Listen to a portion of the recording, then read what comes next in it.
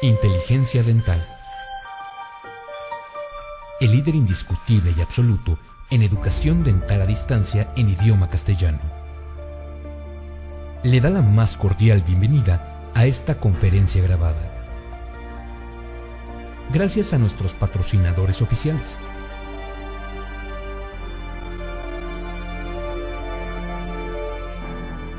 Le ofrecemos siempre un amplio abanico de temas útiles y de actualidad,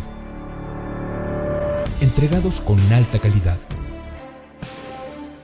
por excelentes conferencistas.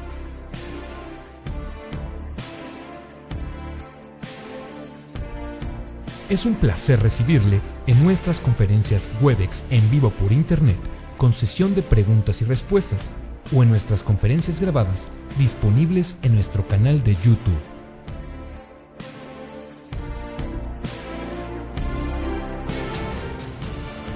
Sus sugerencias y comentarios son bienvenidos en promo arroba inteligenciadental.com.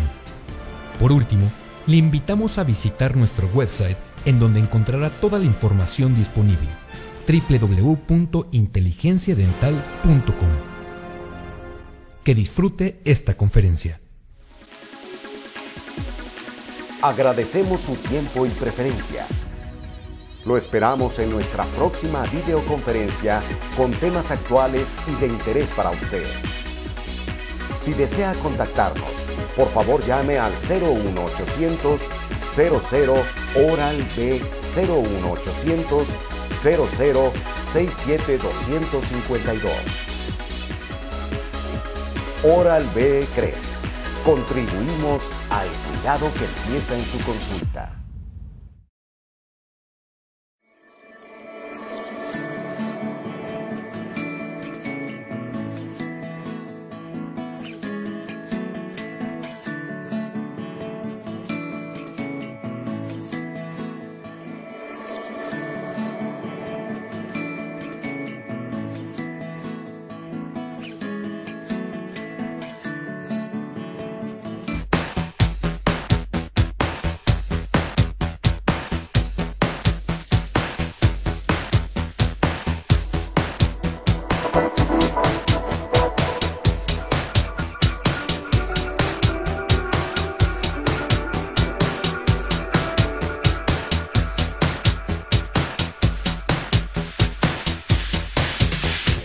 Inteligencia Dental, muchísimas gracias por estar con nosotros. Muy buenos días, muy buenas tardes, muy buenas noches, donde quiera que estén, en cualquier lugar del mundo. Gracias por seguirnos en esta plataforma www.inteligenciadental.com y también por seguirnos por, en YouTube. Estamos aquí muy contentos en nuestro segundo programa de temporada número 2. Ya hay mucha gente conectada, les mando un gran saludo. Y bueno, pues iniciamos con un periodo MX bastante, bastante nutrido. Y antes de iniciar, pues para mí es bien importante platicar acerca de varios tópicos.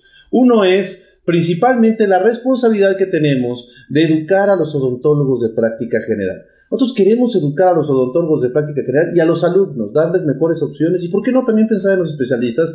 Pero aquellas personas que están iniciando, en aquellas personas que desgraciadamente a veces se van rezagando y se van quedando un poquito eh, en el día con día atorados en cuestiones académicas, en cuestiones clínicas y sobre todo en el área, en el área de la periodontología.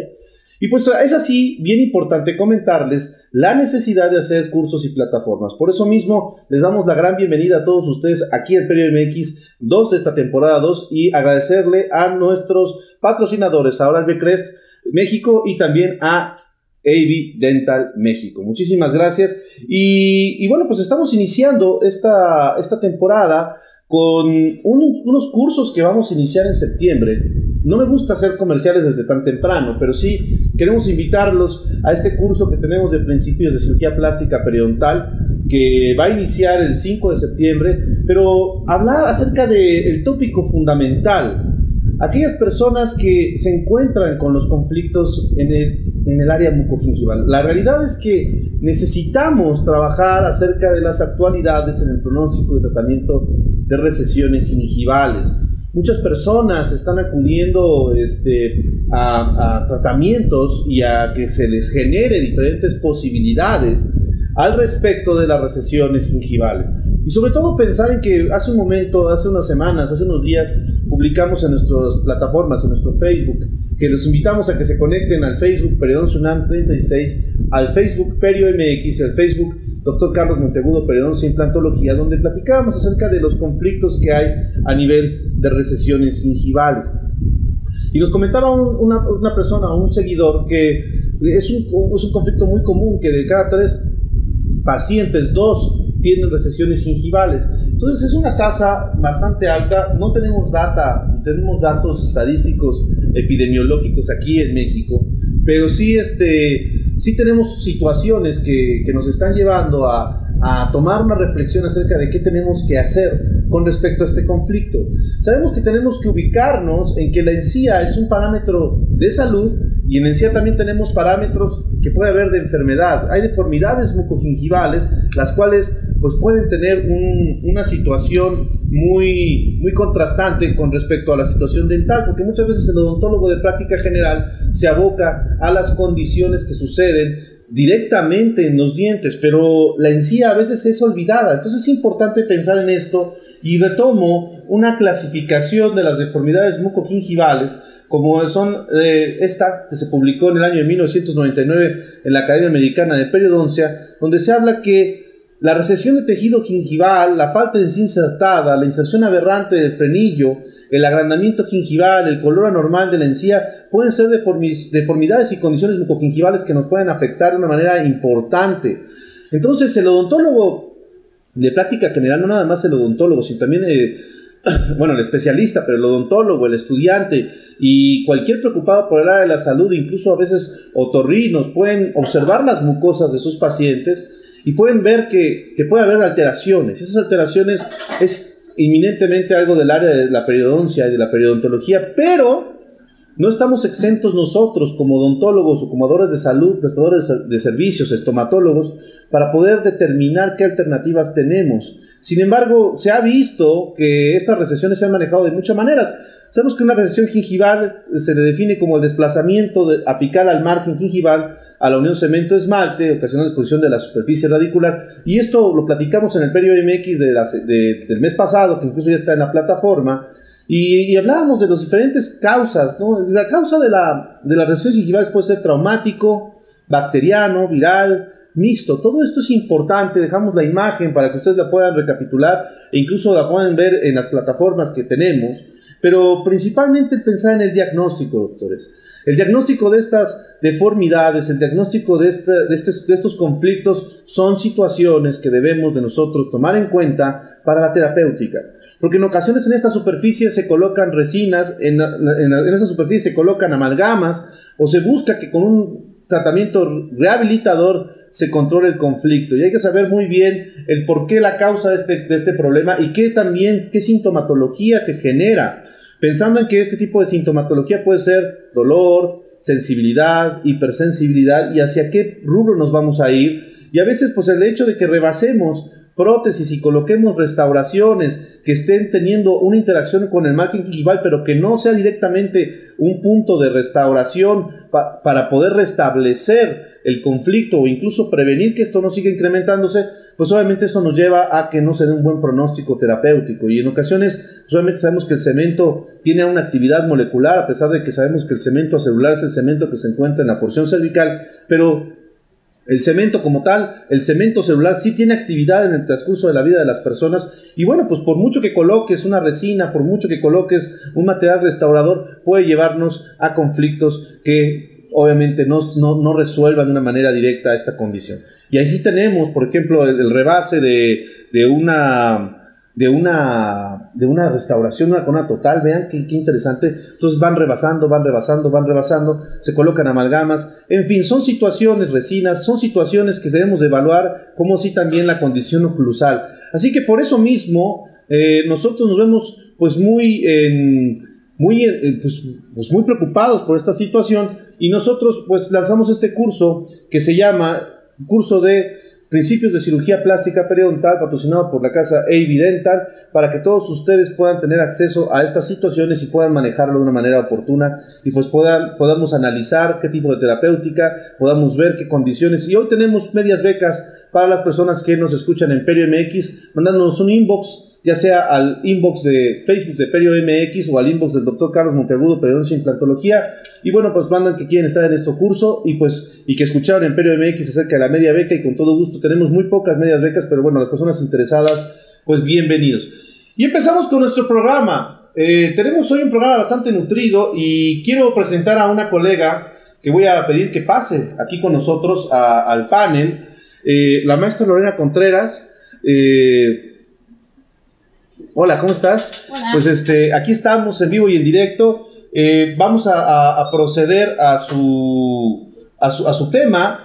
Y bueno, pues antes de, de abrir la presentación, que seguro están viendo ahorita el manejo, este, eh, mi manejo que, que estamos haciendo en- en- aquí en, en- a nivel eh, multimedia, quiero presentarles directamente a la doctora Lorena Contreras Álvarez, que pues es coautora y es autora, más bien, es autora del libro Periodontología e Implantología, pero es coautora de, de varios capítulos, estás en dos capítulos, En dos ¿no? capítulos. Es, estás en, en dos capítulos, nos va, nos va a platicar la doctora Lorena en lo que abre su presentación.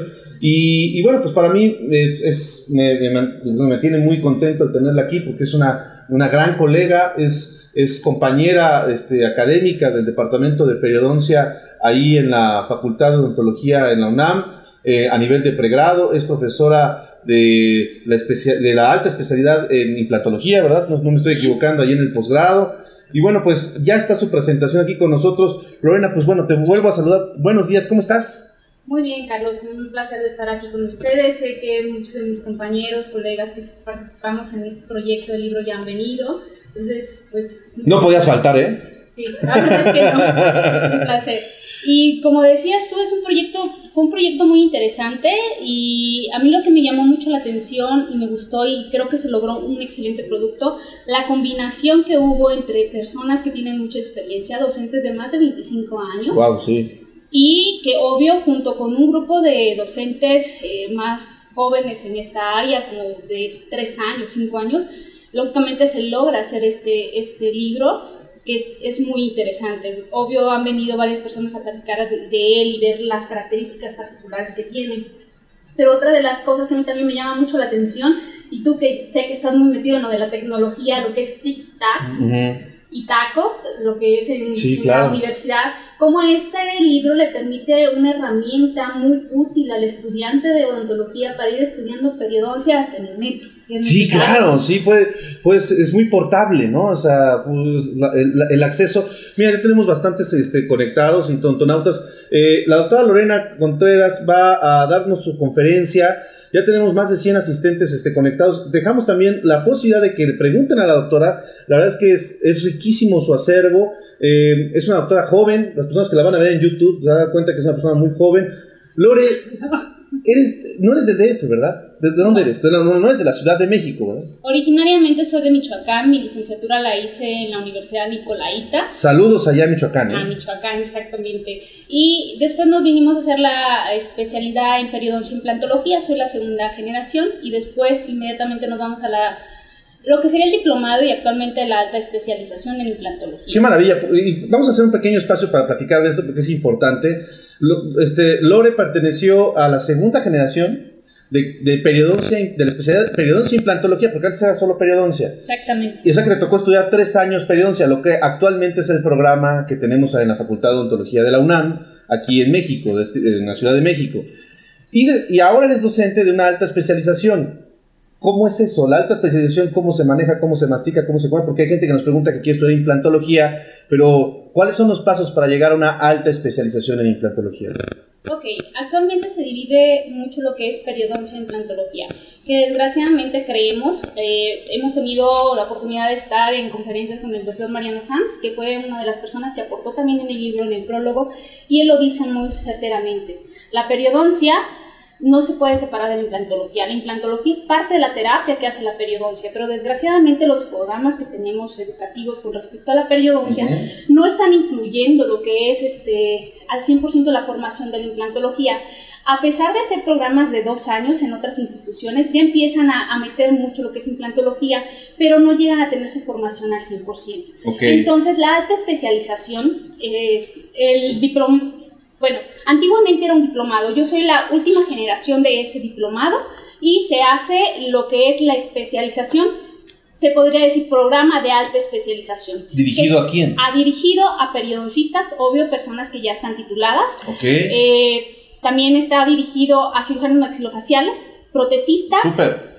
Ahorita con los nuevos programas de restauradora, por decir que es una combinación endoperio-prótesis, también está dirigido a ellos, y prótesis maxilofacial. Son los alumnos que pueden tener la posibilidad de entrar a este programa y lograr una cédula profesional que avale sus conocimientos en implantología. Actualmente existe el programa, eh, estaba dividido que el cirujano operaba, nada más, y el protesista rehabilitaba. No se pueden hacer las cosas aisladas, era un equipo en conjunto, tanto un profesor quirúrgico, un profesor eh, protésico y, y, igual alumnos. Actualmente no. El alumno agarra un plan de tratamiento y hace todo.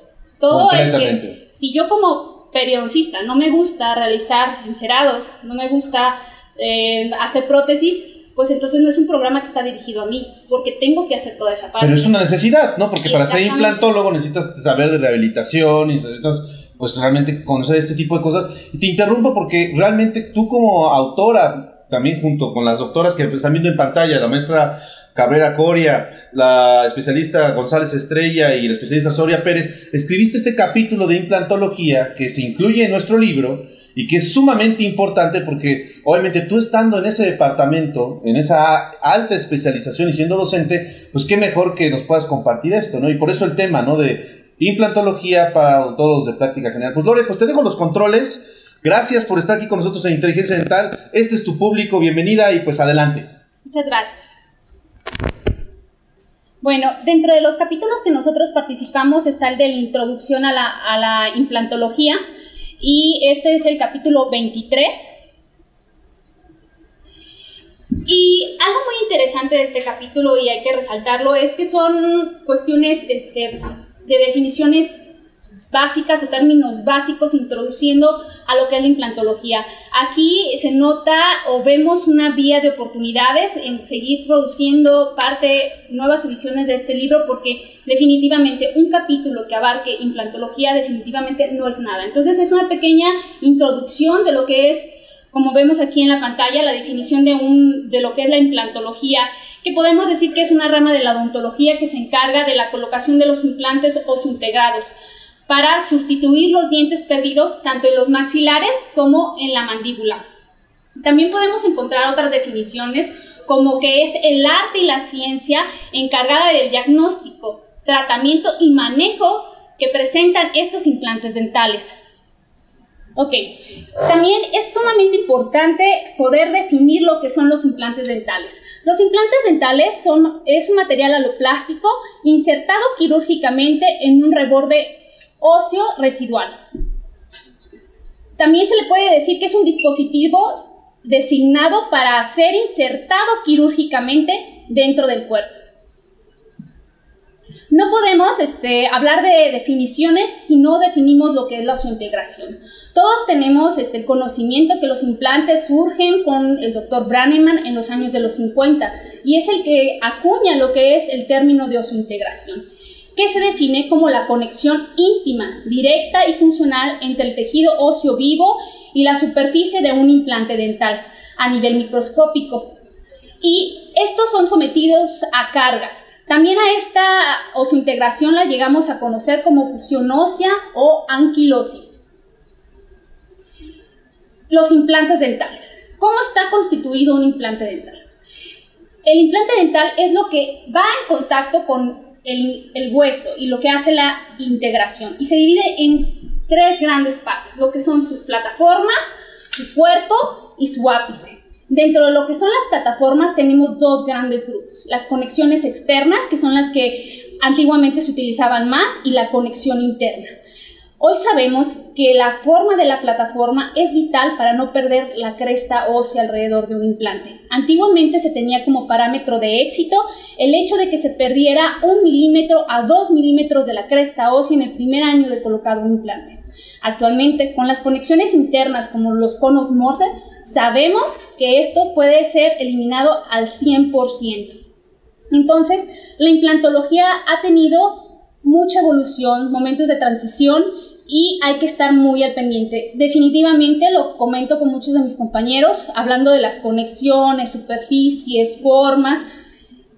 Hay muchos mitos todavía en la, en la implantología, muchos paradigmas que resolver. Nos podemos ir a la literatura y encontrar este, revisiones sistemáticas que nos avalan alguna información y que encontramos esa, esa información o otra literatura que nos pueda avalar totalmente lo contrario. Entonces tenemos que tener una visión muy clara de lo que queremos para poder este, llevar a cabo una implantología de calidad. Una de las imágenes que vemos aquí en, en, medio es lo de las superficies de los implantes. Antiguamente los implantes tenían superficies maquinadas. Actualmente sabemos que las superficies de los implantes son tratadas para lograr este, más eh, área de contacto con el hueso y por ende una mejor integración del mismo hablar de cada uno de estos temas, pues nos llevaría, como tú lo sabes, Carlos, yo creo que por cada uno de esos temas. Un libro. Exactamente. Y era lo que decíamos. Tenemos mucha oportunidad todavía en este libro para desarrollar lo que es implantología. Definitivamente es introducción, porque como lo van a ver durante la presentación, hay muchos elementos que se pueden ir tocando. Sí, claro. Ok. Los implantes tienen este, los podemos colocar de dos fases y para esto, en la, lo que es tu plataforma, nosotros podemos colocar lo que es una tapa. Esa tapa permite que nuestro implante quede sumergido, o sea, debajo de la encía. Y después de la integración del implante, que es importante mencionar que esa integración en mandíbula se habla que es aproximadamente de cuatro meses, en maxilar es más tardado, es de seis meses. Obvio, esto es por la constitución ósea que tenemos en las zonas. Llegamos en ese momento de los tiempos de, osintegración, abrimos un colgajo y tenemos que utilizar con lo que son los tornillos de cierre, que es la segunda imagen que vemos, y estos tornillos de cierre tienen una finalidad, perfilar la encía alrededor de un implante. Y esto nos hace que nuestra prótesis simule que emerge de la encía o generar los perfiles de emergencia. Son sumamente importantes poderlos realizar de una forma adecuada y más si estamos hablando de zonas estéticas. Tenemos dos tipos de pilares protésicos. Se divide en estos dos grupos que son los atornillados y cementados. En la actualidad, la tendencia es utilizar este, pilares protésicos atornillados. Esto nos permite la ventaja de poder dar el mantenimiento de las prótesis sobre los implantes y poder quitar la prótesis y poder dar un adecuado mantenimiento ya si tenemos alguna complicación alrededor de nuestro implante o tuvimos una fractura en la cerámica, en cantidad de situaciones que se podrían presentar. Ok, dentro de los auxiliares diagnósticos tenemos en la implantología, lo más básico que debemos realizar, pues lógicamente son nuestras radiografías periapicales que nos dan una imagen uno a uno. La panorámica no puede ser este, eximida en el diagnóstico debido a que nos ayuda a identificar estructuras anatómicas importantes, como podemos ver en esta panorámica, el dentario, el seno maxilar, o determinar por medio de ella el diagnóstico, pronóstico y el plan de tratamiento de los pacientes. Como podemos ver, este es un paciente que presentaba una periodontitis crónica generalizada severa, el pronóstico de sus dientes era desfavorable, era un paciente que se iba a quedar totalmente déntulo y ahí viene todas las alternativas que nos ofrece la implantología, desde colocar prótesis implantomucosoportadas por medio de dos, tres, cuatro implantes en las arcadas o colocar de 6 a 8 implantes en, las arcadas y poder colocar prótesis fija que el paciente no tiene que remover en su casa, solamente en cuestiones de mantenimiento el especialista es el que retira esas prótesis. Pero definitivamente, como lo comentamos con el doctor Carlos cuando empezamos, la implantología es una solución protésica. Nosotros no podemos hablar de implantes dentales si no sabemos cómo vamos a rehabilitar a nuestro paciente. Y para saber el plan de tratamiento, tenemos que hacer uso de los modelos eh, de estudio y encerados diagnósticos para ver la posición idónea donde se debe colocar el implante y poder determinar si tengo el hueso adecuado para colocarlo y si no lo tengo, qué alternativas de aumento de reborde puedo ofrecer para lograrlo o saber que no lo voy a lograr y poder dar una alternativa de plan de tratamiento al paciente. Dentro de los auxiliares diagnósticos, una herramienta que cada día se hace más útil o más utilizada por los costos que se han abaratado es la tomografía axial computarizada. Esta nos dice el hueso que tiene nuestro paciente, la calidad y la densidad ósea y nos puede determinar dónde es la posición idónea de nuestros implantes por medio de la sobreposición de nuestros encerados diagnósticos en estas tomografías y podemos determinar, a lo mejor si tengo hueso para anclar mi implante, pero no corresponde la dirección del anclaje del implante a la dirección de la salida de la chimenea donde voy a atornillarme mi prótesis. Entonces tengo que tomar decisiones de si voy a colocarlo o voy a hacer un aumento de reborde. La esterilitografía es después de la tomografía nos surge una esterilitografía, que es la imagen que vemos en blanco, y estas esterilitografías son sumamente útiles para hacer las guías quirúrgicas restrictivas. Como podemos ver, estas guías quirúrgicas restrictivas se colocan en, pueden ser a nivel gingival u óseo, como vemos la imagen aquí. Nos ayuda a que nosotros cuando estamos haciendo nuestra cirugía no tengamos problemas en el paralelismo de nuestros implantes, que se coloquen exactamente donde los requiere el protesista para ser rehabilitados de una forma idónea. Existe una clasificación de los factores de riesgo que puede presentar un paciente para tener una perimplantitis o la pérdida o fracaso de los implantes. Esta se divide en factores locales, sistémicos y conductuales. Es este, muy importante determinar estos factores de riesgo no nomás cuando están colocados los implantes para decir voy a perder el implante ya que lo coloqué. De hecho, lo idóneo es el análisis previo de colocar los implantes de todos estos elementos en las cuestiones locales me gustaría resaltar que lógicamente si yo tengo infecciones en boca y quiero colocar implantes, las bacterias de esas infecciones, ya sean de tipo periodontal, endodóncico o de otra situación, me pueden contaminar mis implantes y al contaminar mis implantes puedo tener la ausencia de la integración, una fibrointegración o la pérdida del implante por una perimplantitis. Los implantes, como bien sabemos, es la sustitución de un diente perdido, pero así como se lo ofrecemos a nuestros pacientes, la sustitución de este, diente, de este diente perdido por un implante no determina que este implante no le van a atacar las bacterias y que de por vida va a estar en boca del paciente. Es importante hacerles saber a los pacientes que así como perdieron sus dientes naturales, pueden perder los implantes por infecciones. Entonces, por eso la importancia de destacar que la boca debe estar ausente de infecciones en el momento de colocar los implantes, en el momento que ya tenemos los implantes en boca y en el mantenimiento, porque en cualquier momento se pueden ver afectados. Los hábitos parafuncionales también son cuestiones muy importantes que debemos de ver, porque si tenemos sobrecargas en las, en las restauraciones que realizamos, tenemos pérdida de hueso. Al perder hueso alrededor de un implante empezamos a tener profundidad del sondeo. Al tener profundidad del sondeo tengo bacterias y esto es un círculo y empieza a avanzar y puedo perder mi implante. La calidad ósea dentro de los factores locales es sumamente importante. Sabemos que existen cuatro tipos de huesos. Se nos comenta en la literatura que el hueso más idóneo para colocar implantes es el hueso tipo 2 y tipo 3, que es una combinación de hueso cortical y esponjoso.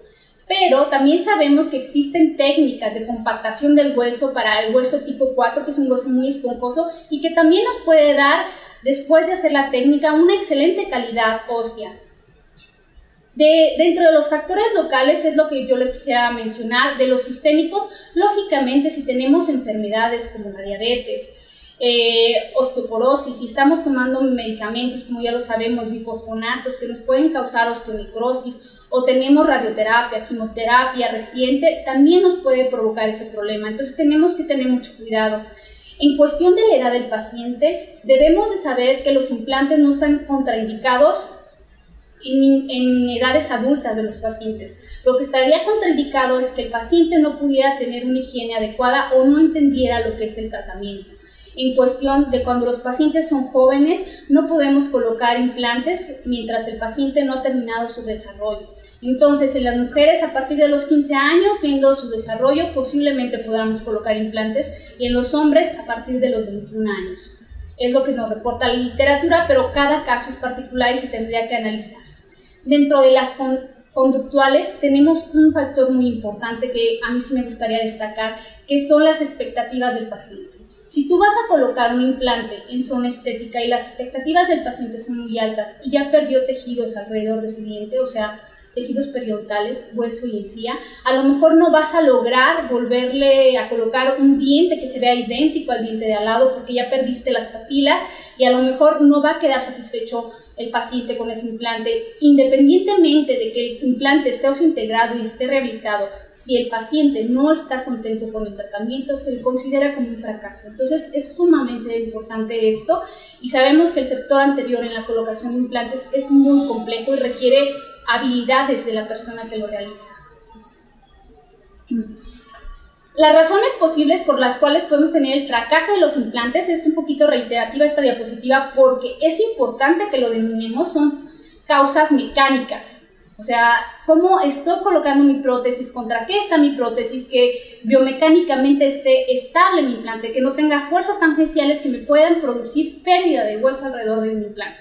Biológicas sabemos que son bacterianas o sistémicas y cualquier causa que me pueda provocar una periodontitis, por ende alrededor de un implante periimplantitis, es un factor de riesgo. La valoración de estos riesgos va en diferentes etapas, como lo habíamos mencionado antes de colocar los implantes. Durante la colocación de los implantes, aquí nos referimos cuando estamos colocando si regeneramos alrededor de ese implante porque no teníamos el volumen oso adecuado, en la fase de mantenimiento de los implantes. Esta fase es muy importante hacérsela saber al paciente debido a que si él no es consciente que al colocar un implante debe tener mantenimiento cada seis meses, cada año, depende de la terminación de las características clínicas muy particulares de ese paciente, el paciente puede perder los implantes.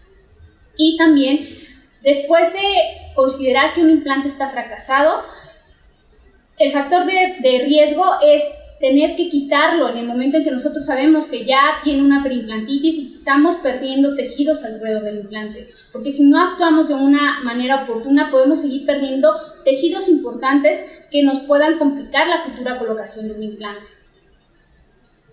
Ahora, dentro de las condiciones locales, tenemos absolutas y relativas.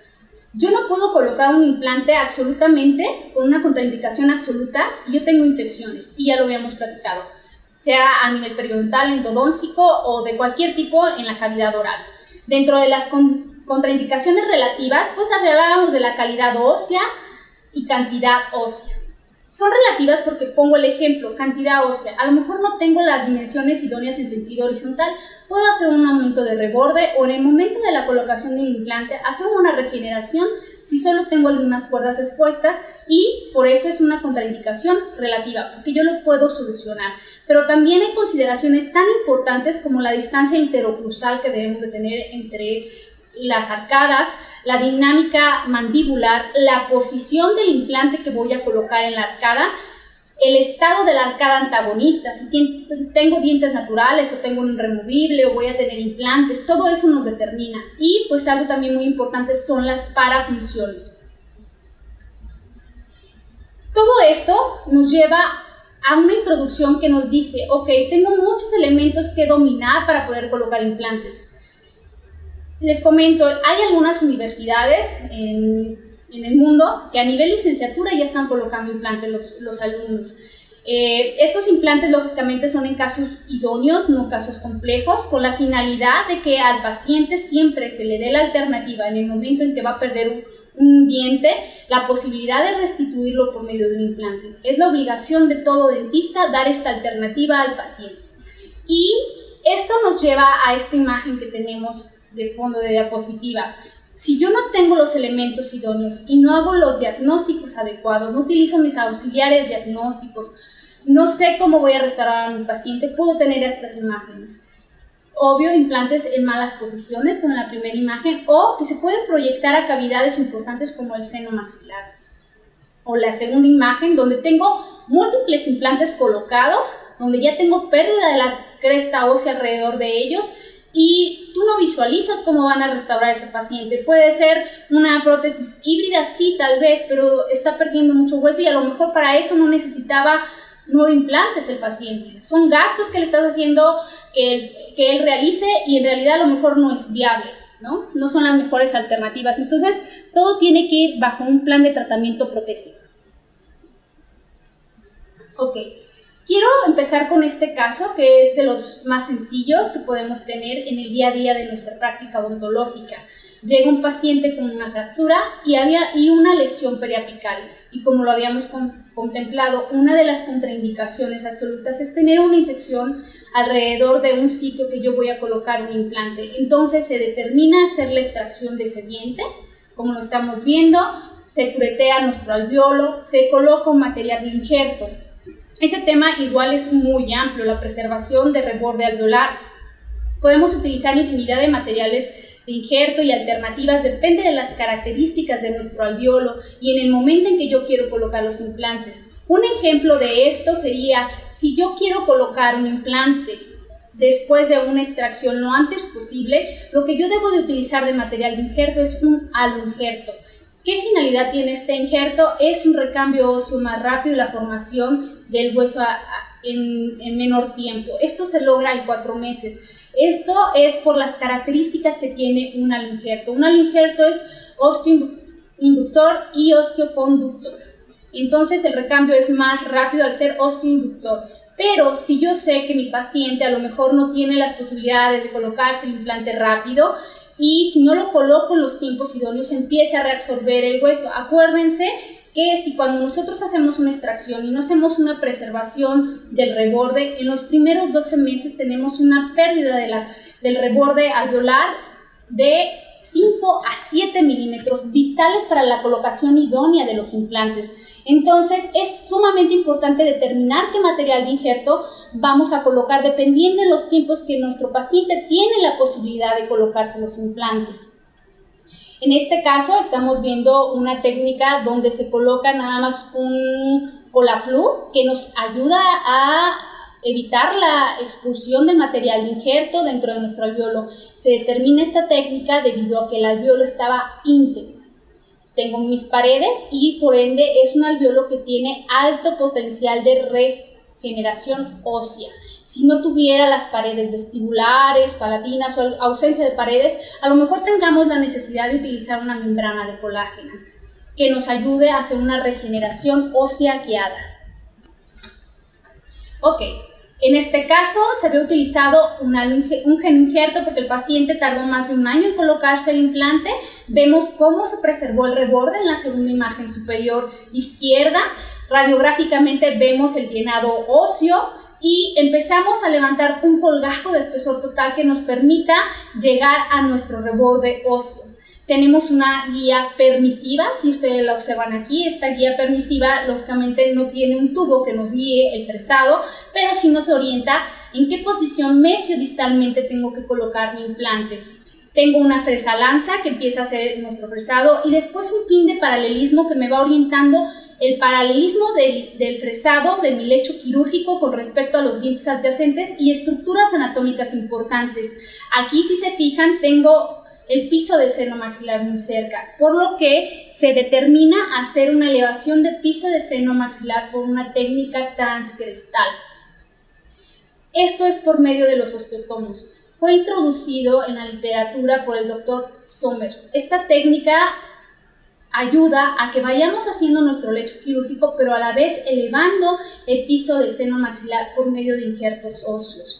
Para poder colocar nuestro implante, como vemos en, en, esta, en estas imágenes, en la radiografía, vemos el antes, durante lo que se fue la preservación y después de colocado el implante y rehabilitado, como vemos que pasamos esa línea de piso de seno maxilar y pudimos hacer la elevación adecuada para colocar un implante de las dimensiones ideales y la restauración de ese paciente. Aquí tenemos otro caso. Este primer molar superior definitivamente pues está perdido, tuvo una reabsorción interna y pues el diagnóstico es desfavorable. Se empieza a hacer el análisis, vemos que el diente está destruido, que no tengo el antagonista. Entonces se hace la extracción. Aquí en estos casos nosotros podríamos hacer la extracción y colocación inmediata del implante. Deberíamos de tener las características idóneas óseas para poder lograr la estabilidad primaria del implante. Por lo regular nos anclamos apicalmente. Pero aquí la situación era que teníamos muy cerca el piso de seno maxilar, entonces tampoco podíamos anclarnos apicalmente, aunque tenía un septum interradicular idóneo para empezar el fresado y poder colocar el implante. Entonces se decide hacer la extracción y nuevamente el mismo protocolo, una preservación de alveolo. Y en la imagen radiográfica inferior estamos viendo la planeación por medio de unas guías quirúrgicas restrictivas. Estos son los tubos guía que tenemos que nos va a orientar la ubicación idónea del implante correspondiente a la ubicación ideal de nuestra restauración.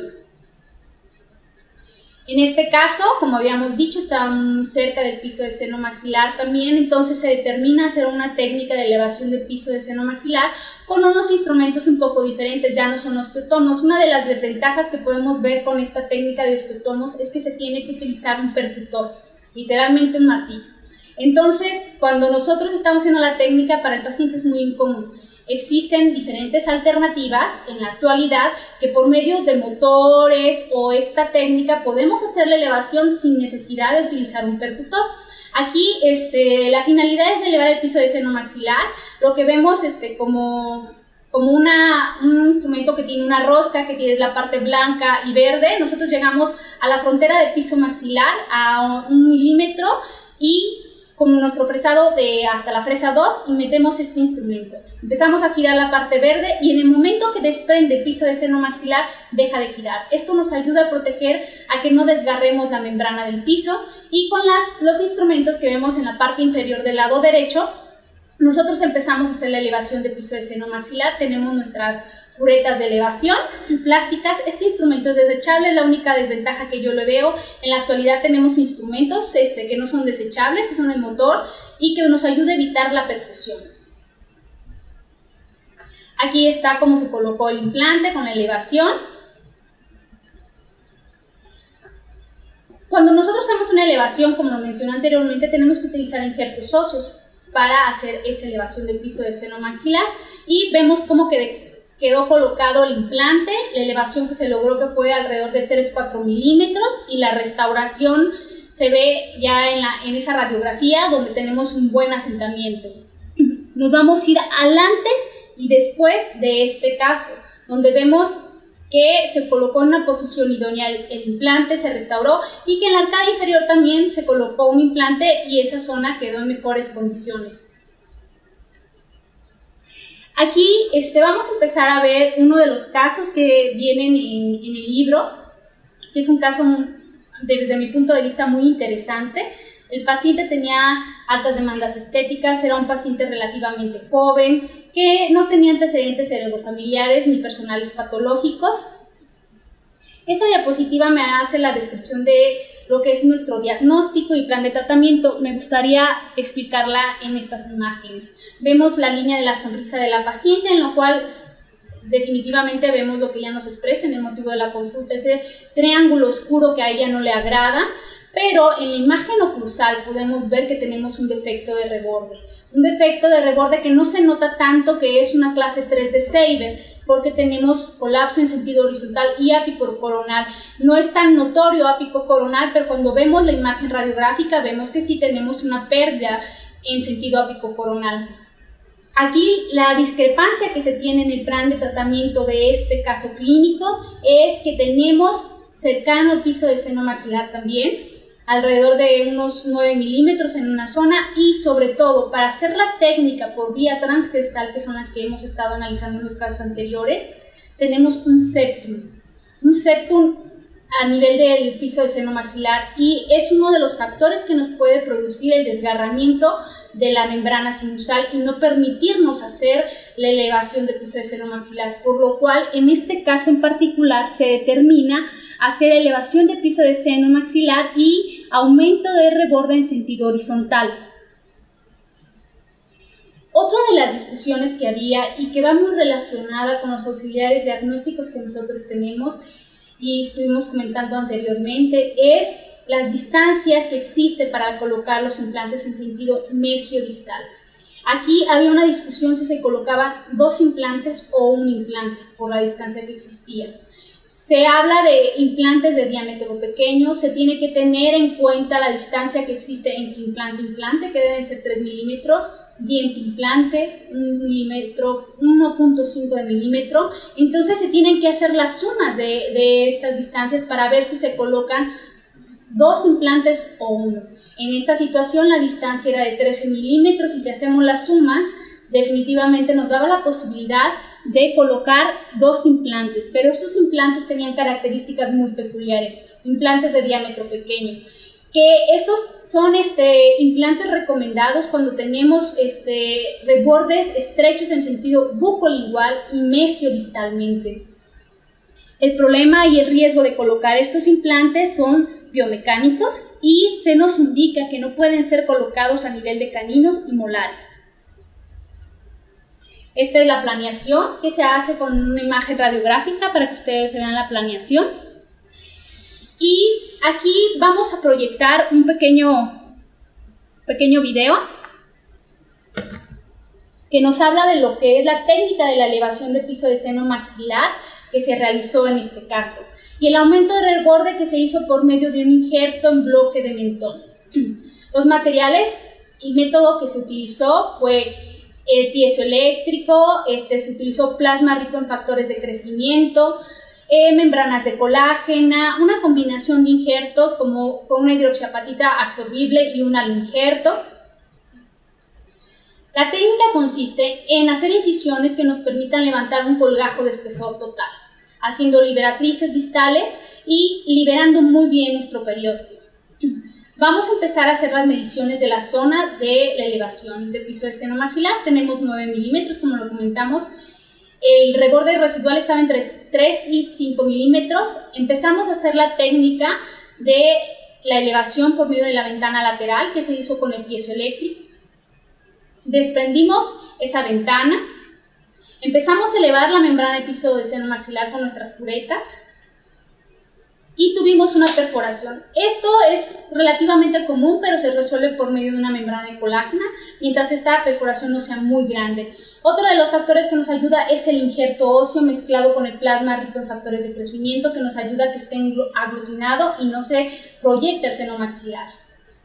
Ahora, vamos a hablar de lo que es el aumento en sentido horizontal, donde se abordó el mentón por medio de planos expusimos nuestro mentón, tuvimos los márgenes de seguridad para no dañar el ápice de las raíces ni el nervio mentoniano. Se toma el bloque. Estos bloques se tienen que conformar quitando todo tipo de aristas para que no se pueda, este, para que no pueda perforar nuestros tejidos blandos. Se fija con tornillos y en los espacios que quedan se tiene que colocar material de injerto, que en este caso es la misma mezcla, y sobre él se coloca una membrana de colágena para que sea una regeneración ósea guiada. Se sutura por planos, aquí estamos viendo la sutura del plano mucoso, primero el muscular, este es como se tiene la, la sutura de los dos sitios, y esta es la cicatrización a los 8 días, 15 días, bastante adecuada, dos meses. Resultados a los seis meses. Este es el antes y este es el después. Y la elevación de piso de seno, dependiendo de la zona, logramos un alrededor, de 15 a 14 milímetros. Es importante cuando nosotros hacemos una técnica de aumento de reborde, de aumento de reborde, implantes, estemos al pendiente. Aquí está el caso del aumento de reborde y empezamos a detectar una lesión periapical. Acordémonos de las infecciones que nos, no nos ayudan a mantener nuestros injertos e implantes. Entonces se decidió hacer una, una apicectomía, radicectomía, perdón, se elimina parte de la raíz. Ahorita vamos a ver el hueco que ya estaba haciendo la destrucción de esa infección, más de 15 milímetros. Entonces, esto ya estaba afectando nuestra, nuestra elevación y aumento de reborde. Se hizo una regeneración con un injerto. Se colocó la sutura y nos esperamos el tiempo adecuado para la cicatrización nuevamente. Aquí vemos la cicatrización normal, es un paciente que tiene, tenía adecuada cicatrización, en algunos momentos tuvo una cicatrización de segunda intención, pero mínima, la verdad. Entonces, ¿qué me arroja este video? me arroja que yo cuando estoy haciendo este tipo de tratamientos tengo que tener vigilancia de nuestro paciente. Se va a determinar, depende de las condiciones clínicas del mismo, si yo lo reviso cada mes, cada dos meses, cada tres meses, y tengo que tomar elementos diagnósticos como radiografías para poder ver que todo esté en condiciones adecuadas y no tenga infecciones. Ahora, vamos a hablar de la colocación de esos implantes, de ese caso donde nosotros hicimos el aumento de reborde. Vemos los resultados, lo mismo radiográficamente, que logramos una adecuada elevación. Vamos a hacer la prueba de una guía restrictiva. Tenemos nuestros tubos guía. Vamos a hacer un análisis de la zona quirúrgica y vemos cómo tenemos un adecuado ancho sobre lo que es nuestra encía, pero lo más importante es a nivel óseo. Hacemos nuestra técnica de anestesia perióstica, levantamos un colgajo y hacemos incisiones que nos permitan levantar el colgajo de espesor total. Este tipo de procedimientos son a espesor total todos. Vemos cómo se logró la regeneración de la zona. Tenemos que eliminar esos tornillos y vamos a hacer una medición del antes y después. De la zona del, 24 teníamos antes alrededor de 2 milímetros y después logramos 6 milímetros. En la zona del 25 tenía alrededor de 3 a 4 milímetros y después de nuestros procedimientos tenemos alrededor de 8 milímetros. Significa que nuestros aumentos de reborde valieron la pena. Y vamos a colocar implantes de 3.3 milímetros el protocolo de fresado de la casa comercial que en ese momento se decidió es este. Probamos, ponemos nuestra guía quirúrgica, empezamos con nuestra fresa lanza, em, seguimos con el protocolo de fresado con fresas que van de menor a mayor diámetro, en este caso estamos viendo la fresa número 2. Vemos el paralelismo que tienen el fresado entre la colocación de los implantes es sumamente importante porque acuérdense que teníamos muy poco margen de error. Si me voy chueca, no iban a quedar bien. En este tipo de implantes se tiene que perfilar forzosamente para poderlos colocar. Es una característica que tiene esta casa comercial, pide el perfilado. La colocación de esos implantes, como ya les había mencionado, son implantes de 3,3 por 13 milímetros de longitud. Aquí estamos viendo la inserción del primer implante, del segundo, Vemos el paralelismo que tienen entre sí. Obvio, tuvo que ser muy precisa la colocación para lograr esas distancias entre implante, implante, diente, implante. Los torques fueron buenos porque teníamos hueso 360 grados, entonces se decide hacer una provisionalización en aquel momento por la doctora Martínez Yasmín y el doctor Alejandro Osorio, que era el asesor del caso en aquel momento y vemos cómo estaban sus provisionales. Aquí estamos viendo que se está haciendo una técnica de Palashi para preservar papilas en el momento de la colocación de los implantes para, para ver si se preservaban. Era difícil por las distancias que tenemos entre implante e implante, la verdad. Pero bueno, la técnica se hizo, se trató de, de, mantener ese, ese tejido tan importante que son las papilas, que sabemos que es lo más difícil de lograr. Es la cicatrización a los 8 días,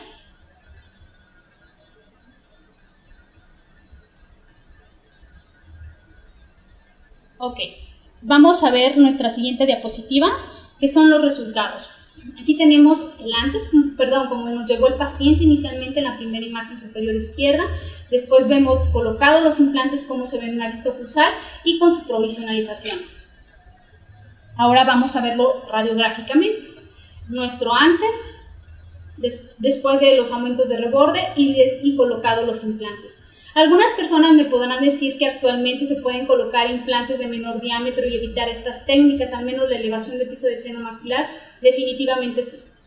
Eh, estas eran las alternativas que se tenían, por lo regular colocábamos implantes de 13 milímetros cuando yo empezaba a estudiar, a pesar de que el doctor dice que soy muy joven, pero bueno, ha habido esa transición en el Inter que nosotros sí, estamos. ha cambiado los conceptos. Ha cambiado muchos conceptos. Entonces, si me dicen ahora el abordaje de este caso, pues podría ser implantes de menor longitud. Claro. ¿sí? Sí, sí, sí. Ahora, es este, importante que nosotros veamos este, el diagnóstico. Se nos dice que si yo tengo infecciones en el piso del seno maxilar o que tengo una sinusitis o un cuerpo extraño en el piso de seno maxilar, yo no puedo hacer elevaciones del piso de seno maxilar.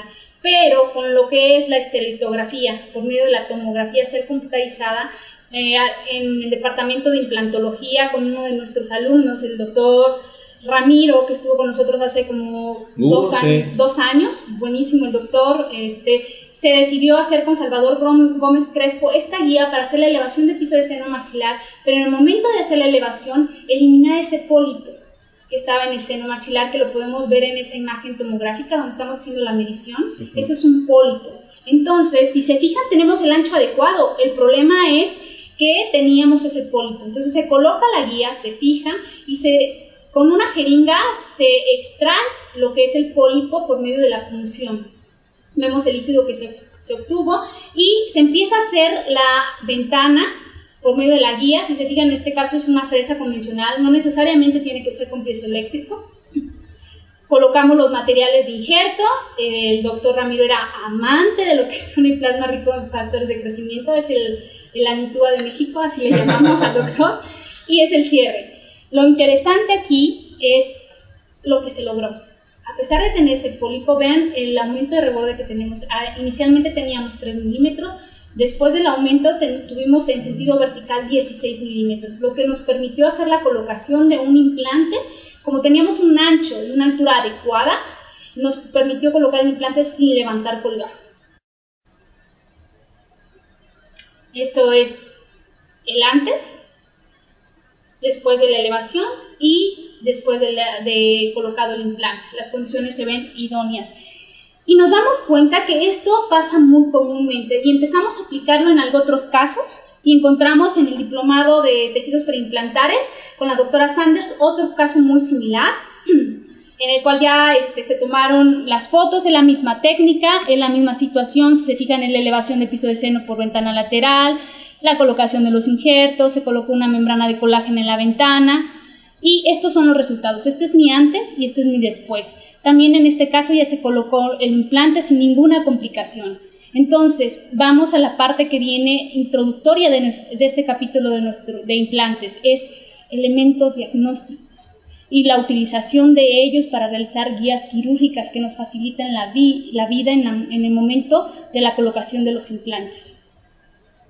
Tenemos casos muy complejos, como por decir en esta situación de este caso clínico que les estamos mostrando, donde tenemos hasta un, canino retenido que no ayudaría a colocar los implantes y un diente este, también supernumerario.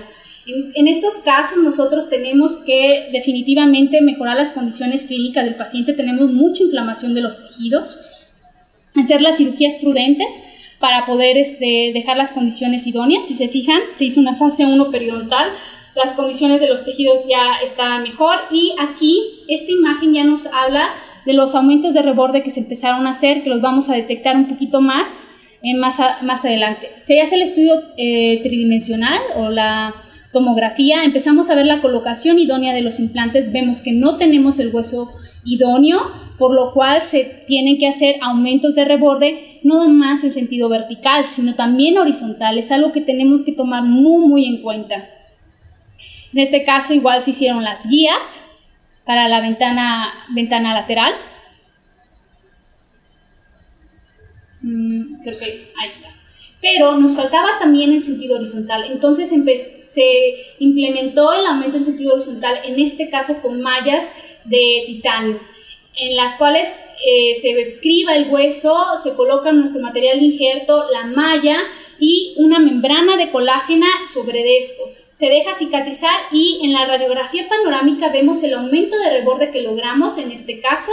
Y lo más interesante es que a través del tiempo, nosotros ya después de la cicatrización idónea, que son alrededor de 8 meses, mandamos a hacer otra vez nuestra tomografía y planeamos nuestros implantes y vemos que tenemos el hueso idóneo para colocar en posición ideal los implantes con respecto a nuestro encerado diagnóstico. Vean la sobreposición que tenemos de nuestro hueso y el encerado diagnóstico en la imagen inferior izquierda. Y ahí son las posiciones ideales. Quitamos, entramos nuevamente a operar al paciente, quitamos esas, esas mallas, vemos los aumentos que logramos, colocamos los implantes y sí, todavía tenemos que hacer un poco de regeneración alrededor de esos implantes, sobre todo a nivel apical. Pero vean las condiciones idóneas de la colocación de los implantes por medio de estos diagnósticos certeros y la colocación de ellos donde se hizo la planeación protésica, no donde había hueso. Esto es parte de lo que es su rehabilitación, está, está todavía un poquito inconclusa en estas imágenes. He de comentar, este caso es de, de posgrado, de la alta especialización, han colaborado varios alumnos durante mi periodo de profesora, entonces es un agradecimiento pues al departamento, al doctor Mario que nos da la oportunidad de Un saludo a todos ellos. A todos ellos, exactamente. Y pues lógicamente siguen... Eh, sigue abierta la posibilidad de que hay mucha información que tenemos que incluir o saber abordar de lo que son los implantes. No, implica, no implica que si yo soy un dentista de práctica general no pueda colocar un implante. Sé que existen muchos cursos actualmente para esto. Sí, sí lo puedes colocar, pero tienes que estar capacitado. Y lo idóneo es hacer un buen diagnóstico y saber que si es algo complejo, no lo puedes hacer tú y a lo mejor referirlo a la persona idónea. Esa sería mi recomendación. Perfecto, pues muchísimas gracias a la doctora Lorena. Te mandan muchos saludos. Eh, la doctora Laura Anaí Figueroa, mil gracias por la conferencia, gracias. Un poquito con problemas de audio, no se preocupen, este, los, solucionamos. El doctor Abel García, eh, ¿cuáles son las contraindicaciones para colocar un implante?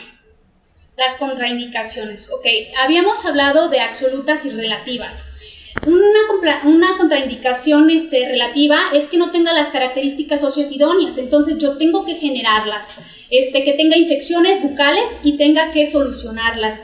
Una absoluta es, por decir, tener un paciente diabético descontrolado. No puedo colocar implantes en ese paciente. Muy bien. El doctor Eduardo Calderón. Hola, buenos días. esta conferencia es recomendable colocar el implante cuando el órgano dentario se extrajo o se perdió o cuánto tiempo es recomendable esperar. Yo creo que está preguntando si es este, indicado post-extracción o esperar? ¿Qué, prefieres?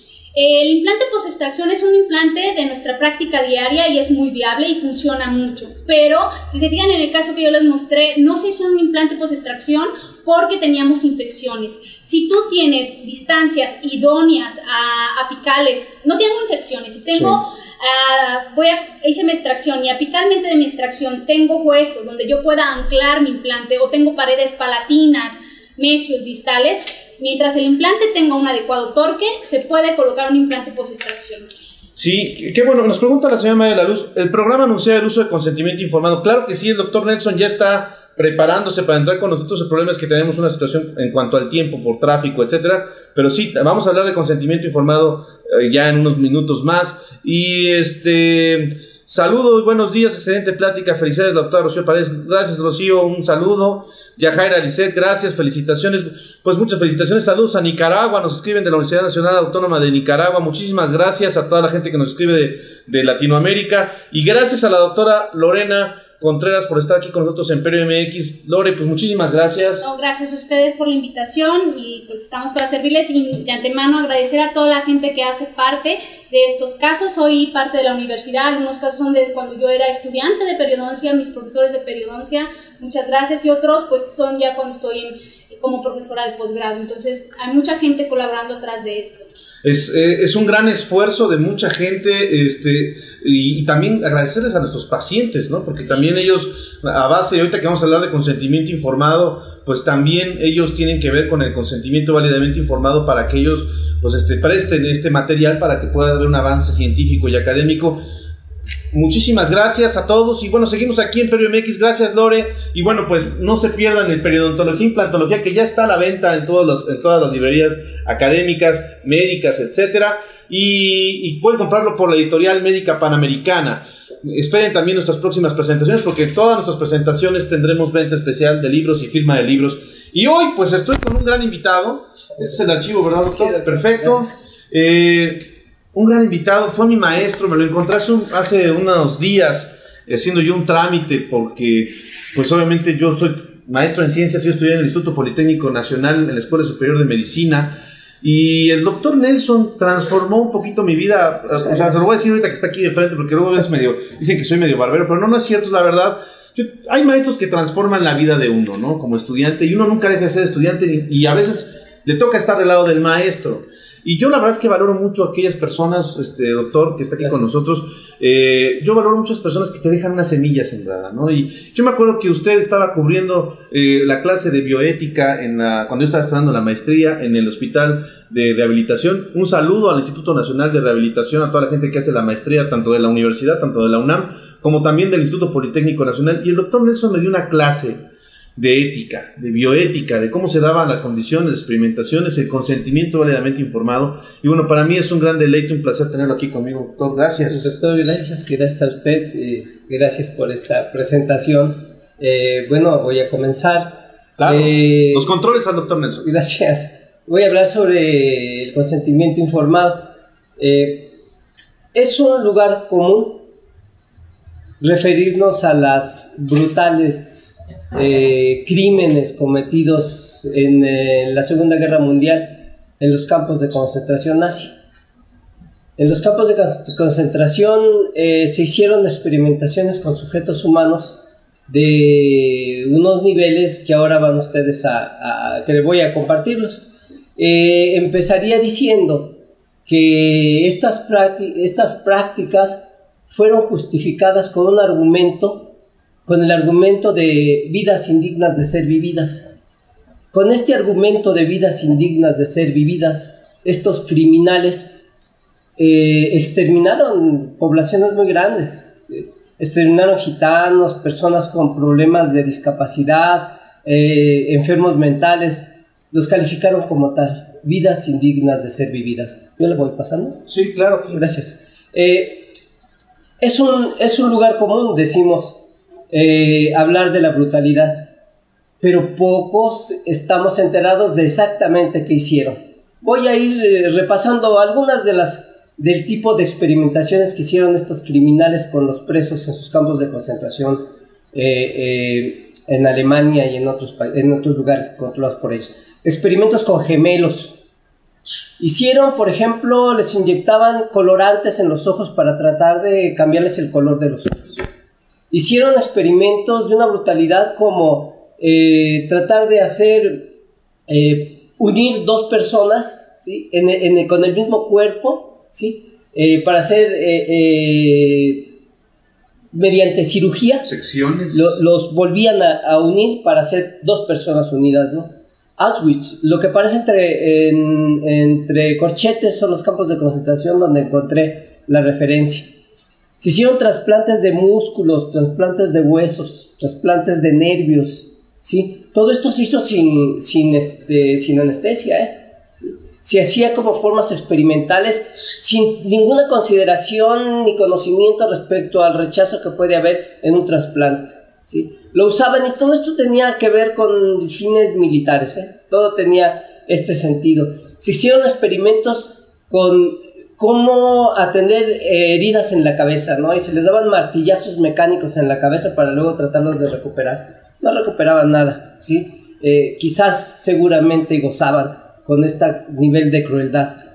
Hicieron cosas como esta, congelación con humanos, sometían a personas a piletas de agua, las metían, las sumergían en piletas de agua congelada y luego los sacaban de ahí para tratar de recuperarlos. No recuperaban nada. Imagínense el nivel de dolor al que estaban expuestas estas personas. Se hicieron experimentos con malaria, los infectaban con malaria y luego probaban eh, métodos para recuperarlos de, esta, de estas infecciones. Se hicieron experimentos con gas mostaza, los exponían a gas mostaza y hacían, eh, todo esto sí fue haciendo el, el, este, el, registro de la historia natural en el caso de la malaria, de la enfermedad, o, la, o, todo el proceso de, de seguimiento a la, a la, este, al, al, gas mostaza, a la exposición a gas mostaza. Se estaban descubriendo apenas las sulfamidas, hicieron experimentos con sulfamidas, y claro que para hacer experimentos con sulfamidas, pues primero tenían que infectar a las personas.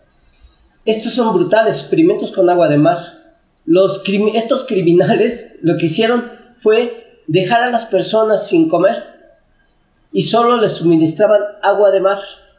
La gente no tenía más alternativa que tomar agua de mar.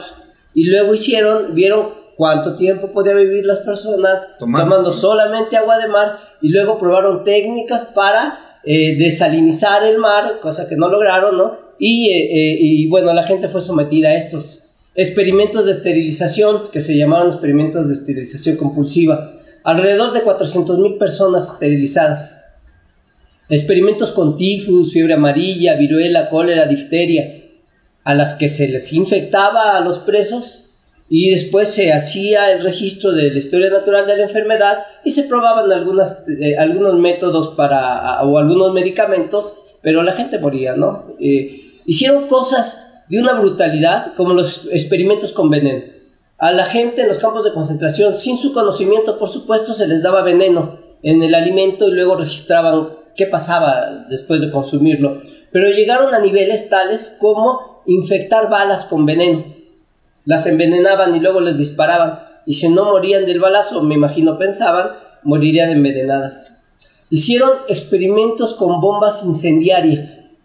Expusieron a la gente a estas quemaduras y luego probaban técnicas para contrarrestar las quemaduras. No fueron los únicos criminales que hicieron y a los que debemos de señalar y no olvidar lo que se hizo. ¿sí? desde antes de la Segunda Guerra Mundial, el ejército japonés invadió China e invadió la, la, población de Manchuria ¿sí? y van a crear una unidad, por supuesto que con con el apoyo de Hirohito, ¿sí? Eh, hicieron en esta, en, en Manchuria, lo que se va a conocer como la unidad 731 para experimentación con sujetos humanos y estaban desarrollando eh, armas bacteriológicas. Se hicieron cosas como estas, y bisecciones sin anestesia para observar el desarrollo de las infecciones provocadas por los médicos investigadores japoneses, digámosles así. ¿sí? Las vivisecciones son eh, estos procesos en los que a las personas se les abre estando vivas y además todos estos procesos sin anestesia. Salían de hecho a la población de Manchuria y agarraban personas y las metían, ¿eh? Las envolvían luego en, en, alfombras y las llevaban a, estas, a, la unidad 731 y ahí las sacaban, se conocía que llegaban los maderos, llegaba mucha gente muerta se hicieron experimentos, los, la población, los eh, militares japoneses, los médicos investigadores japoneses, hicieron experimentación con civiles, ¿sí?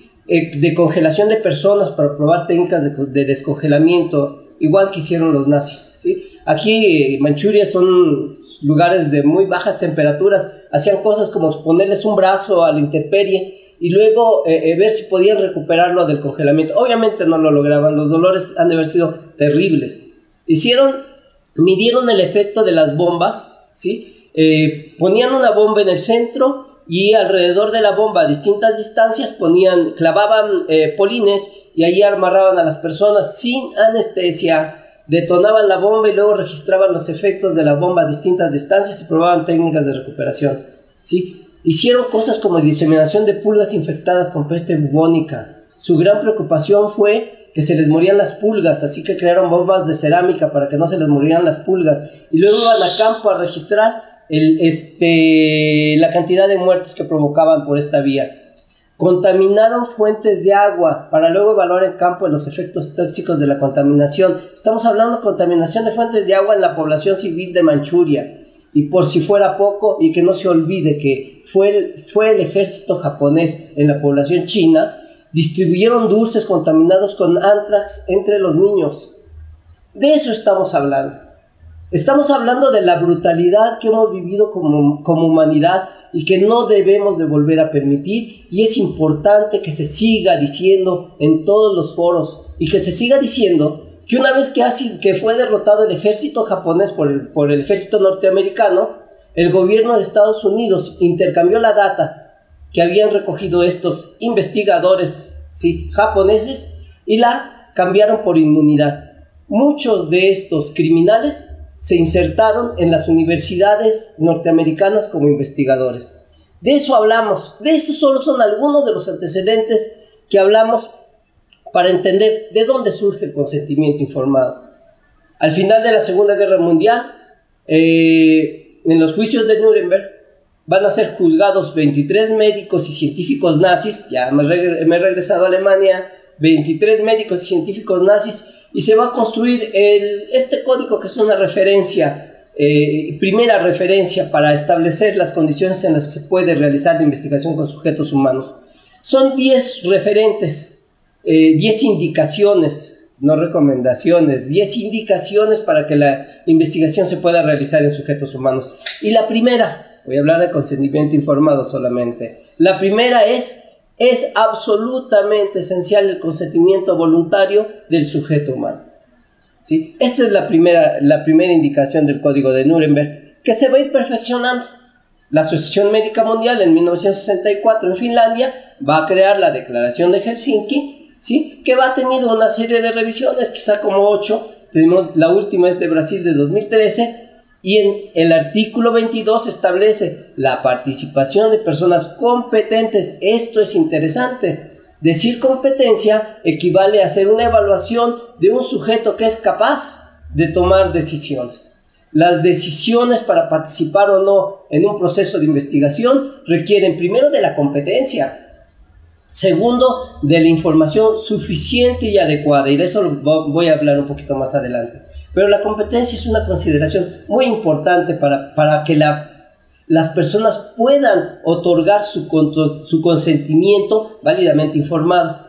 Nos dice Helsinki en su artículo 22, la participación de personas competentes en la investigación médica debe ser voluntaria, aunque puede ser apropiado consultar familiares, líderes de la comunidad ninguna persona competente debe de ser incluida en un estudio a menos que ella acepte libremente. Estamos en Helsinki solamente hablando de consentimiento informado, así que ahora venimos a nuestro país, en México. Miren, México es un país muy interesante en cuanto a su legislación. En cuanto a su legislación, su rayo. Eh, sí, sí, sí, porque el reglamento, es, eh, el reglamento de la Ley General de Salud en materia de investigación para la salud es muy brillante. Es un reglamento que incorpora, pues es su obligación, ya que estas, estas normativas internacionales las suscribimos, ¿sí? Como país y estamos obligados, se convierte en normativa nacional, pero esa normativa internacional se, se estructura en nuestro país a partir del artículo cuarto constitucional que establece el derecho a la salud. El derecho a la salud. Esto es importantísimo. Ahorita en Estados Unidos la competencia... No, no, los Estados Unidos no lo tienen, ¿eh? en España no existe, en muchos países no existe, de hecho pocos países conozco donde exista, pero este derecho a la salud va a, a, este, va a estructurar, va a ser un, un referente que estructure la reglamentación, así que la, la legislación mexicana en cuanto a la investigación con sujetos humanos es mucho superior, pues, a lo que nos vienen aquí a presentar como, ah, fue avalada por la FDA. Ah, mire, pero ella no tiene derecho a la salud que cree. Y lo que se, eh, la investigación se hace en México se evalúa desde la reglamentación que se da en México. Voy a empezar por este capítulo, por este artículo que para mí es el, es el que abre, de hecho es que es el que abre los aspectos éticos en la investigación en humanos. El artículo 3 en toda investigación en que el ser humano sea sujeto de estudio, deberá prevalecer el criterio del respeto a su dignidad y la protección a sus derechos y bienestar. Sobre eso, nada, ¿eh? Ni que es por el avance de la ciencia, nada. Tenemos derechos y nuestros derechos nos protegen, ¿sí? Nos protege en tanto, por ejemplo, en el caso del bienestar. Es un derecho, el bienestar. Es un derecho que debe de estar vigilado por el Estado mexicano. Atrás de esto hay un millón de muertos, es producto de la Revolución Mexicana. El bienestar debe ser entendido en términos de que incluye la seguridad de la participación, el respeto a la dignidad sí, y el respeto a los derechos son condiciones porque no pueden estar sobre las que no se puede pasar. Voy a, consentimiento informado, mismo reglamento, artículo 14, inciso quinto contará con el consentimiento informado del sujeto en que se realice la investigación o su representante legal en caso de incapacidad legal de aquel en términos dispuestos en este reglamento y demás disposiciones jurídicas aplicables. Contará con el consentimiento informado del sujeto en que se realiza la investigación. Si no hay consentimiento, no hay modificación. En el año 2014, en febrero de 2014, hubo una modificación a este reglamento y se quitaron todas las excepciones, ya nada va sin consentimiento informado. Y vamos a, vamos a hablar un poco de esto porque hay ocasiones en que para realizar la investigación es difícil conseguir el consentimiento, por ejemplo, si se hace un estudio retrospectivo con expedientes, cómo hacerlo, ¿no? O si se trabaja con tejidos y los sujetos ya no son contactados, pero lo vamos a tratar un poco más adelante. Lo que sí que quede claro que las modificaciones del 2 establecen la obligación de consentimiento informado. Artículo 14, inciso décimo, y esto para mí es el ejemplo claro de lo que significa el derecho a la salud. Fíjense, será responsabilidad de la institución de atención a la salud en la que se realice la investigación proporcionar atención médica al sujeto de investigación que sufra algún daño si estuviera relacionado directamente con la investigación. Vean, el derecho a la salud en nuestro país instrumenta eh, mediante el sistema de cobertura. son los hospitales de cobertura quienes son los responsables ¿sí? de velar por nuestra salud. Por eso, los comités de ética que evalúan y que deben de evaluar los protocolos de investigación son los comités de ética de los hospitales de donde proceden los sujetos de investigación. Pero esto es magnífico porque la responsabilidad de la atención a la salud en caso de que haya efectos adversos de la investigación es del, es del, del hospital de cobertura, sin demérito sin que, sin que el investigador o, el patrocinador o quien financie eh, eh, no cubra las indemnizaciones que legalmente correspondan. Pero ese es otro momento. Eso lo atiende la institución directamente con la farmacéutica, por ejemplo. Mediante acuerdos, mediante este, sistemas de cobertura, eso es otra historia. Aquí lo primero y lo importante es que si hay eventos adversos, el responsable es la institución de salud de cobertura. Eso no lo tienen otros países y esto es un gran logro para nuestra institución. Puede ir pasando. Listo. Sí. El artículo 21, miren, aquí sí me quise tomar, este, presentárselos.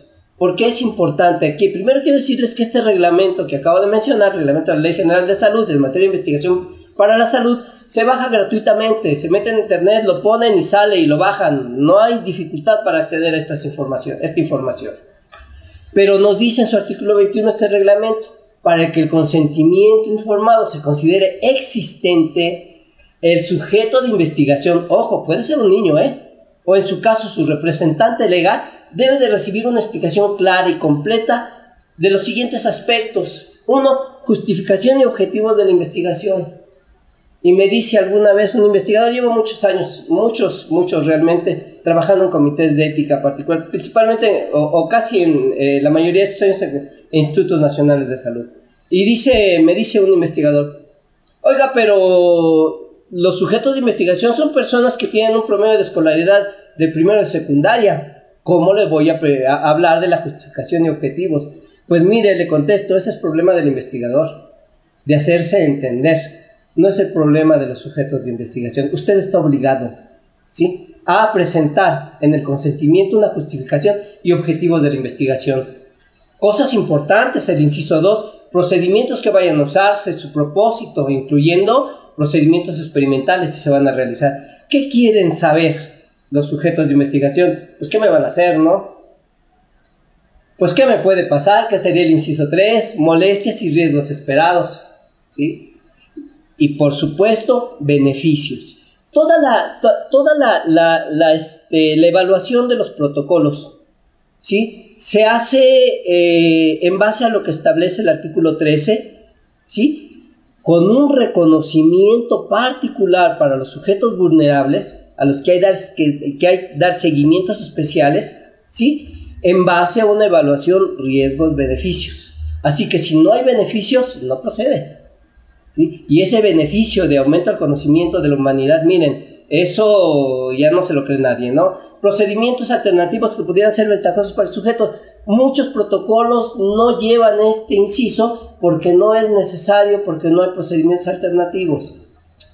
Evaluadores de comités de ética, ¿sí? Podemos ser muy escrupulosos y por, y por esta ausencia parar un protocolo, nuestro quehacer es apoyar la investigación, pero que se realice conforme lo establece la legislación, pero si no hay procedimientos alternativos, pues no están y ya está. ¿sí?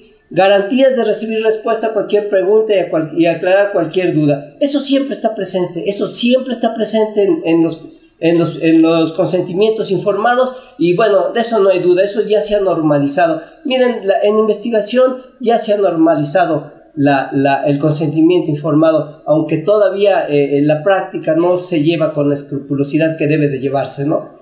libertad de retirar su consentimiento en cualquier momento sin dejar de participar en el estudio. Esto es muy interesante. No en cualquier momento se puede dar el consentimiento. Mujeres embarazadas. Las mujeres embarazadas en el momento del trabajo de parto, su consentimiento a, participar en la investigación no es válido. Sin embargo, en el trabajo de parto es válido que retiren su consentimiento. Vean qué brillante. Lo que está en el fondo es el respeto a la autonomía, el respeto al cuerpo, el respeto a que en nuestro cuerpo nada, más bien nadie, ojalá fuera nada, ¿eh? Nadie puede acceder a nuestro cuerpo sin nuestra autorización. Eso es lo que está en el fondo del consentimiento informado. Lo dice magníficamente, eh, eh, em, ¿quién es? Baudelaire. Baudelaire en sus, pequeños poemas en prosa nos va a decir, no concedo ni al príncipe ni al rey poder alguno sobre mi cuerpo. Sobre nuestro cuerpo nadie sin nuestra autorización. Listo. La, octava recomendación, no recomendación, indicación, la de seguridad de que no se identificará al sujeto ¿sí? y se mantendrá la confidencialidad. Miren, en investigación eh, con, eh, con material genético, la, la, eh, la legislación establece que solo los investigadores solo pueden dar información de los resultados de investigación en genética al sujeto de donde provienen eh, eh, la información genética, ¿no? A nadie más. ¿Qué es lo que nos jugamos? Fíjense, nos jugamos que es un riesgo que significa en todos los estudios de genética y genómica este tipo de violaciones, porque violan la confidencialidad y al violar la confidencialidad queda la posibilidad de que el material genético proporcionado por el sujeto se convierta en conocimiento general. Al convertirse en conocimiento general, ¿sí? podría tener efectos futuros que pueden afectar a los seguros, por ejemplo, del sujeto, al empleo, a, sus planes de reproducción. Puede ser material ser utilizado en litigios o procedimientos penales o puede ser resultado de demandas de paternidad o incluso de estigmatización puede ser resultado. De ahí que es importantísimo el cuidado de la confidencialidad de la información.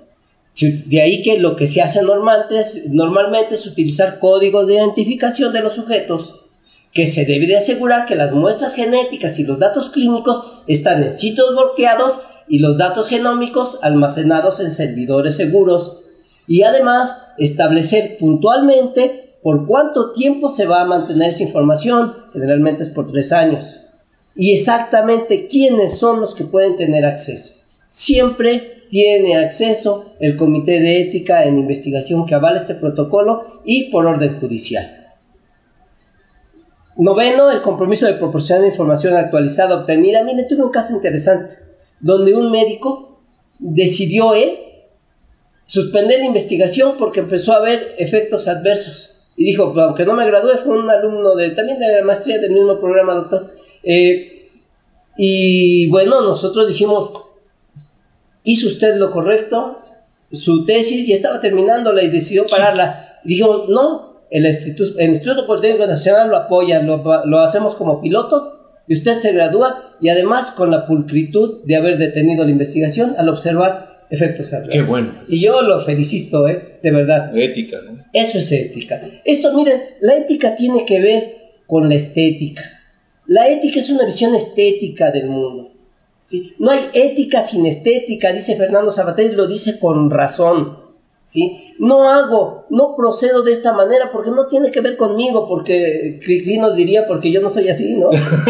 Eh, nosotros no somos así, dice en alguna ocasión. No podemos aceptar participar por nosotros mismos en un procedimiento ilegal, indebido, incorrecto. Fernando Sabater estando preso en Carabanchel, en la dictadura franquista, está junto a otro preso político y este otro preso político le dice a Fernando Sabater, no me lo platicó Fernando Sabater, lo leí en su libro, este, en un libro de, ahorita me recuerdo su, su, nombre. No fue la ética para Amador. No, no, fue, fue, fue, el libro Ética con amor propio. es bellísimo, ¿no? Está, está narrando eh, este, este encuentro y, y, le dice el otro preso político, tú y yo estamos aquí por defender a estos que están aquí, presos comunes, ¿no?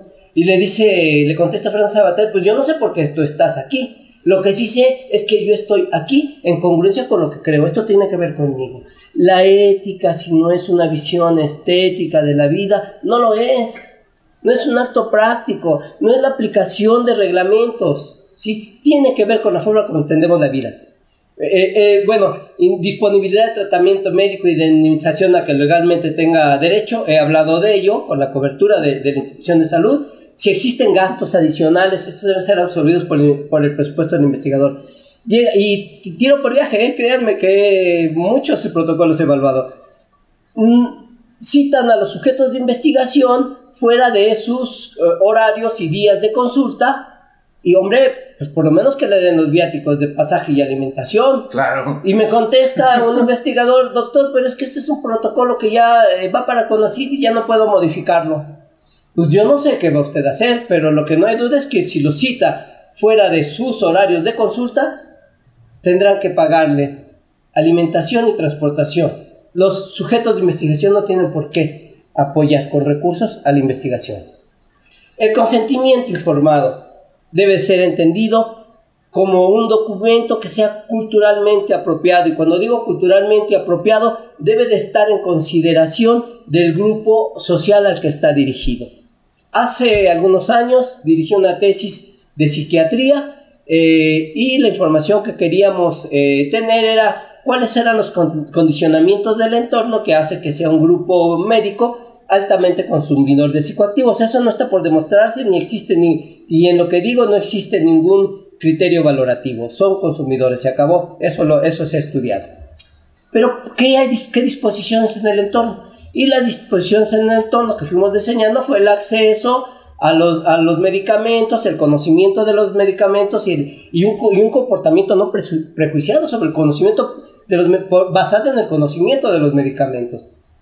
El consentimiento informado estuvo plagado de, eh, eh, de, de tecnicismos y de explicaciones muy pormenorizadas porque los sujetos de investigación eran psiquiatras.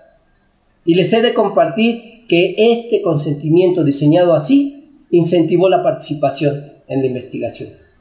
Investigación en el Hospital de la Mujer, promedio de escolaridad, primero en secundaria, pues no usar lenguaje técnico. ¿sí? Por eso es importante considerar el nivel de educación de los participantes. En caso de poblaciones vulnerables, buscar protección y eliminación de la coerción. Difícil la eliminación de la coerción reflexionar en cuanto a la relación de dependencia y creo que al público que me estoy eh, eh, dirigiendo le es importante esto. Reflexionar en cuanto a la relación de dependencia entre el paciente participante con su investigador, sobre todo en los casos en que sea su médico. Mire, eh, hemos construido en nuestro país una relación con los médicos, con nuestros médicos, de un gran reconocimiento y agradecimiento y es fácil de entenderlo, pues cómo no estar agradecido con alguien que le salvó la vida o le regresó la salud a nuestro hijo o a nosotros mismos, ¿no? ¿Cómo no Por eso los médicos y los maestros eh, eh, eh, en las poblaciones son los que tienen más ahijados, ¿no? los quieren para, para padrinos, ¿no? Es el reconocimiento social del que goza, ¿no? Pero esta relación eh, se crea una relación dispar, ¿sí? En esta valoración que se tiene del médico. Y cuando el médico invita a su paciente en base a ese agradecimiento, existe una relación de coerción no intencionada, ¿eh? No intencionada. Recuerdo que hablando de esto en un hospital, me decía una doctora, si mi médico que me atendió le salvó la vida por un problema muy, muy grave, si mi médico que me atendió me solicita que participe en una investigación, a ojos cerrados. Le digo que sí. Bueno, eso. Está esa, pero existe, reconozcamos que existe. una coerción no intencionada y se puede cuidar. ¿Cómo? ¿Cómo? Esto lo aprendí en el, Instituto Nacional de Perinatología, ahí tiene una práctica que me parece adecuada. Se le invita, se le dice al médico, usted no puede invitar directamente a su paciente eh, eh, para que le conteste ahí en su consultorio. Le va a dar el consentimiento informado y un documento anexo con todos los pormenores, ¿sí? incluso tecnicismos que se requieren para que el fenómeno quede claro. Ella se lo lleva a su casa o él se lo lleva a su casa, el paciente, y lo consulta con las personas que considere con sus hijos, con su esposo, con el vecino que ya va en segundo de medicina, lo consultará con quien quiera.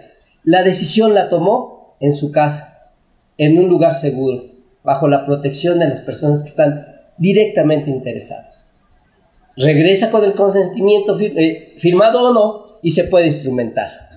Este, bueno, eh, por cuestiones de tiempo lo voy a detener ahí. Eh, no, está para más esto, ¿eh? Y, este, y quiero dejar un espacio pues para las preguntas si ustedes lo consideran. Laura Anajit Figueroa, saludos al doctor Nelson, yo también soy egresada de la SIX. Ah, pues muchísimas gracias a todos. Y es realidad, este doctor, nosotros trabajamos en la UNAM, yo estudié en el Politécnico, me gusta el concepto de salud pública que tenemos aquí, que bien comentamos un momento, y también educación pública, ¿no? Hasta cierto modo con muchos bemoles, pero eh, doctor Nelson, preguntarle, si hacemos un protocolo de investigación y el producto que vamos a investigar no tiene el aval de COFEPRIS, ¿es válido? El producto que van a investigar, no, no, no es válido. Precisamente lo van a investigar porque no tiene el aval de COFEPRIS. La única consideración que, de, que este reglamento que he citado permite la utilizar fármacos, medicamentos, ¿sí? que no, que no están registrados y no tienen el aval de la Secretaría de Salud, ¿sí? es en los casos en que en investigación farmacológica el dejar de administrar este medicamento que se está probando, ¿sí? el dejar de administrarlo pone en riesgo de vida al, al, paciente. Primero son en ese caso sí.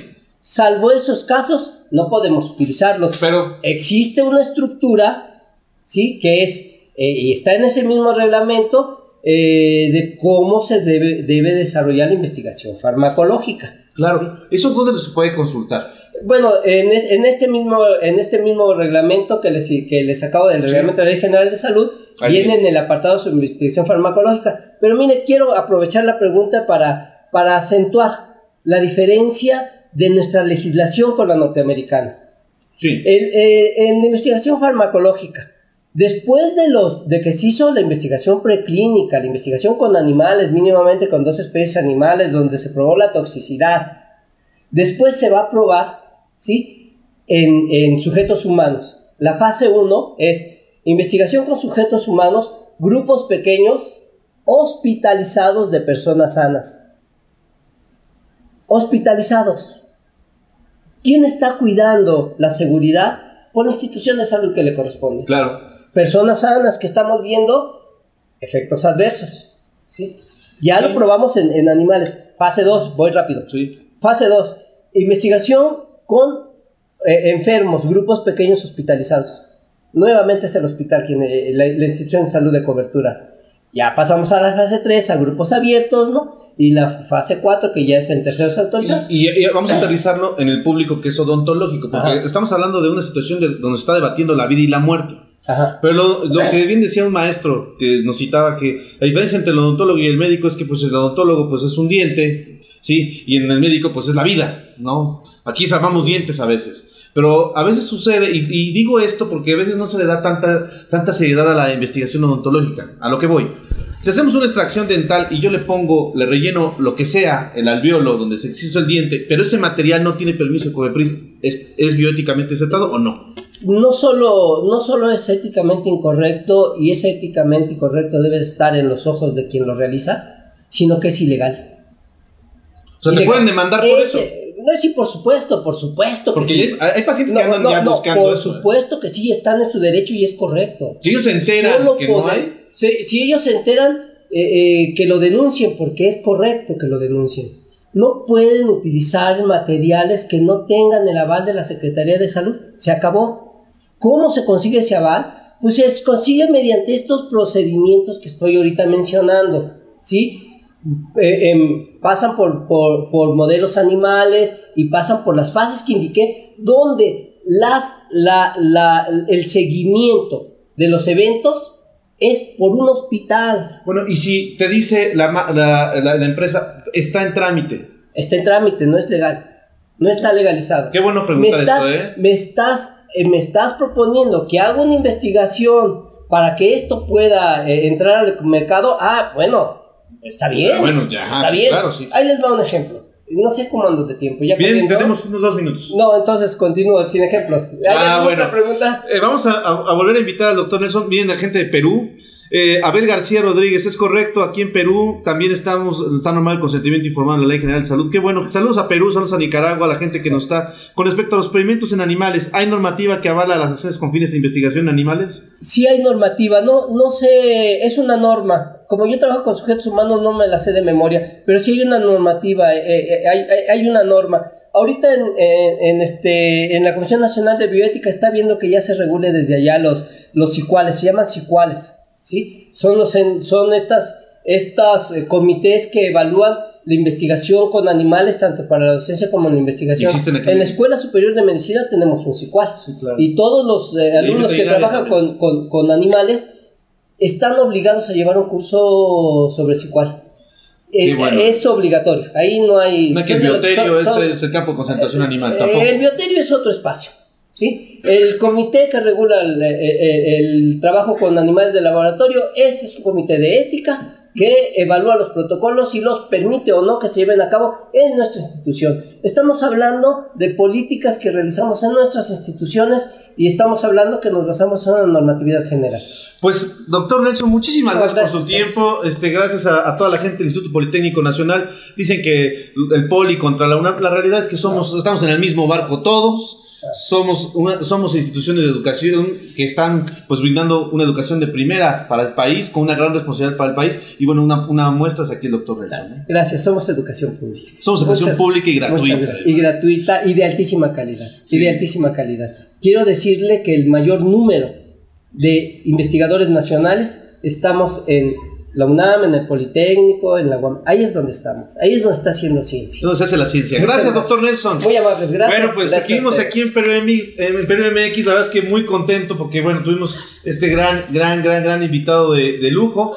Y bueno, pues seguimos, seguimos. Tenemos de invitados a la casa AV Dental México que está con nosotros teniendo novedades. Y, bueno, pues sabemos que de tiempo, gracias a todos los odontonautas que están con nosotros en este momento. Eh, sabemos que andamos con el tiempo encima, pero no hay problema, tenemos mucho que darles a todos ustedes y tenemos aquí, pues les quiero presentar a Miroslava Vega, que estuvo con nosotros el premio MX pasado, ¿sí? Junto con la doctora Anola, An- Alona Friedman, pero principalmente el platicar acerca de una innovación y bueno, pues dar paso y pie a lo que va a suceder, ¿sí? En este próximo congreso de la AMP en Monterrey, Nuevo León.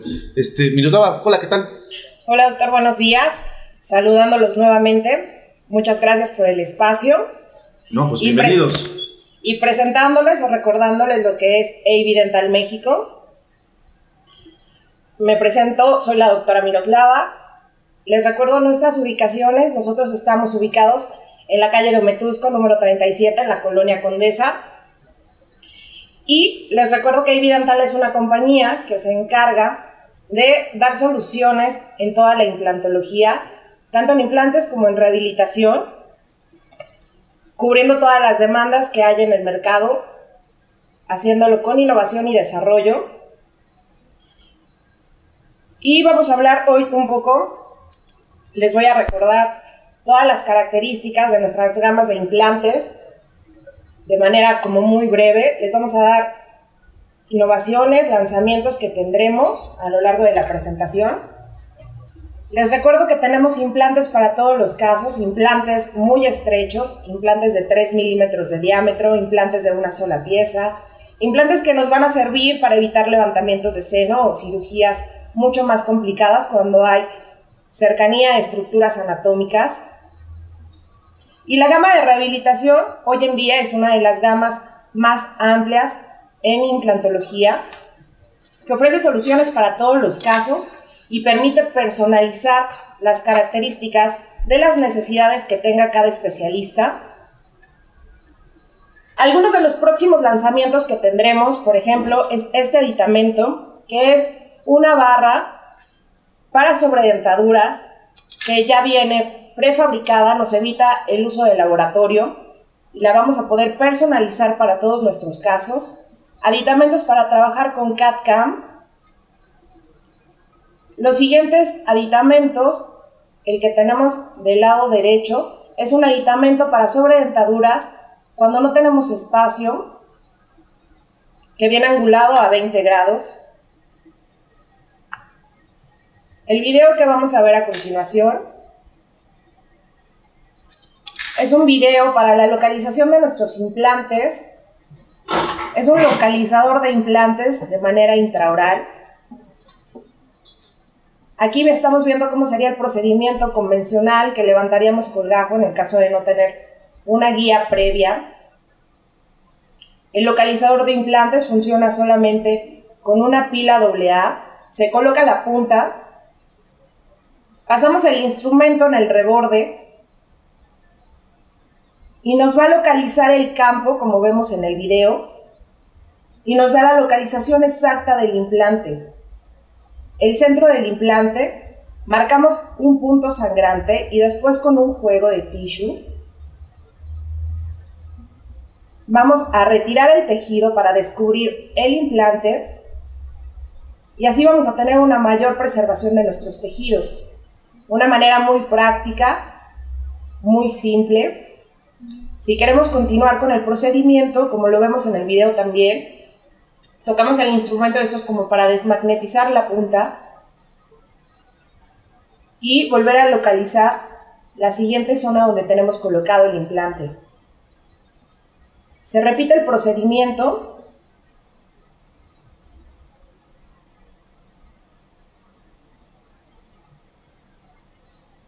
así como lo estamos viendo en el video. Y así tenemos nuevamente la preservación de todos los tejidos con un mínimo traumatismo. El siguiente video que vamos a ver Es un video de un kit para cirugía periodontal. Es un kit de eliminación de todo el tejido de granulación.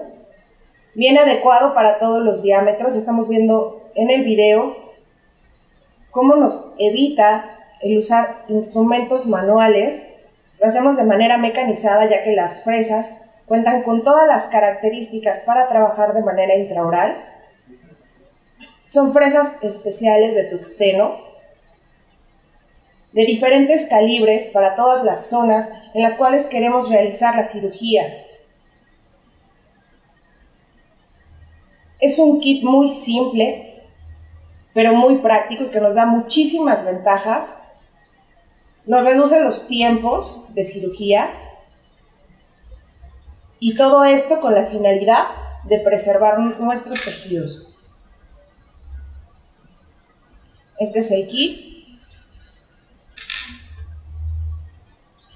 También aprovechamos para invitarlos que estaremos presentes en el Congreso Internacional de Periodontología de la Asociación Mexicana del 31 de agosto al 3 de septiembre que se realizará en Monterrey. Vamos a tener muchos lanzamientos de productos.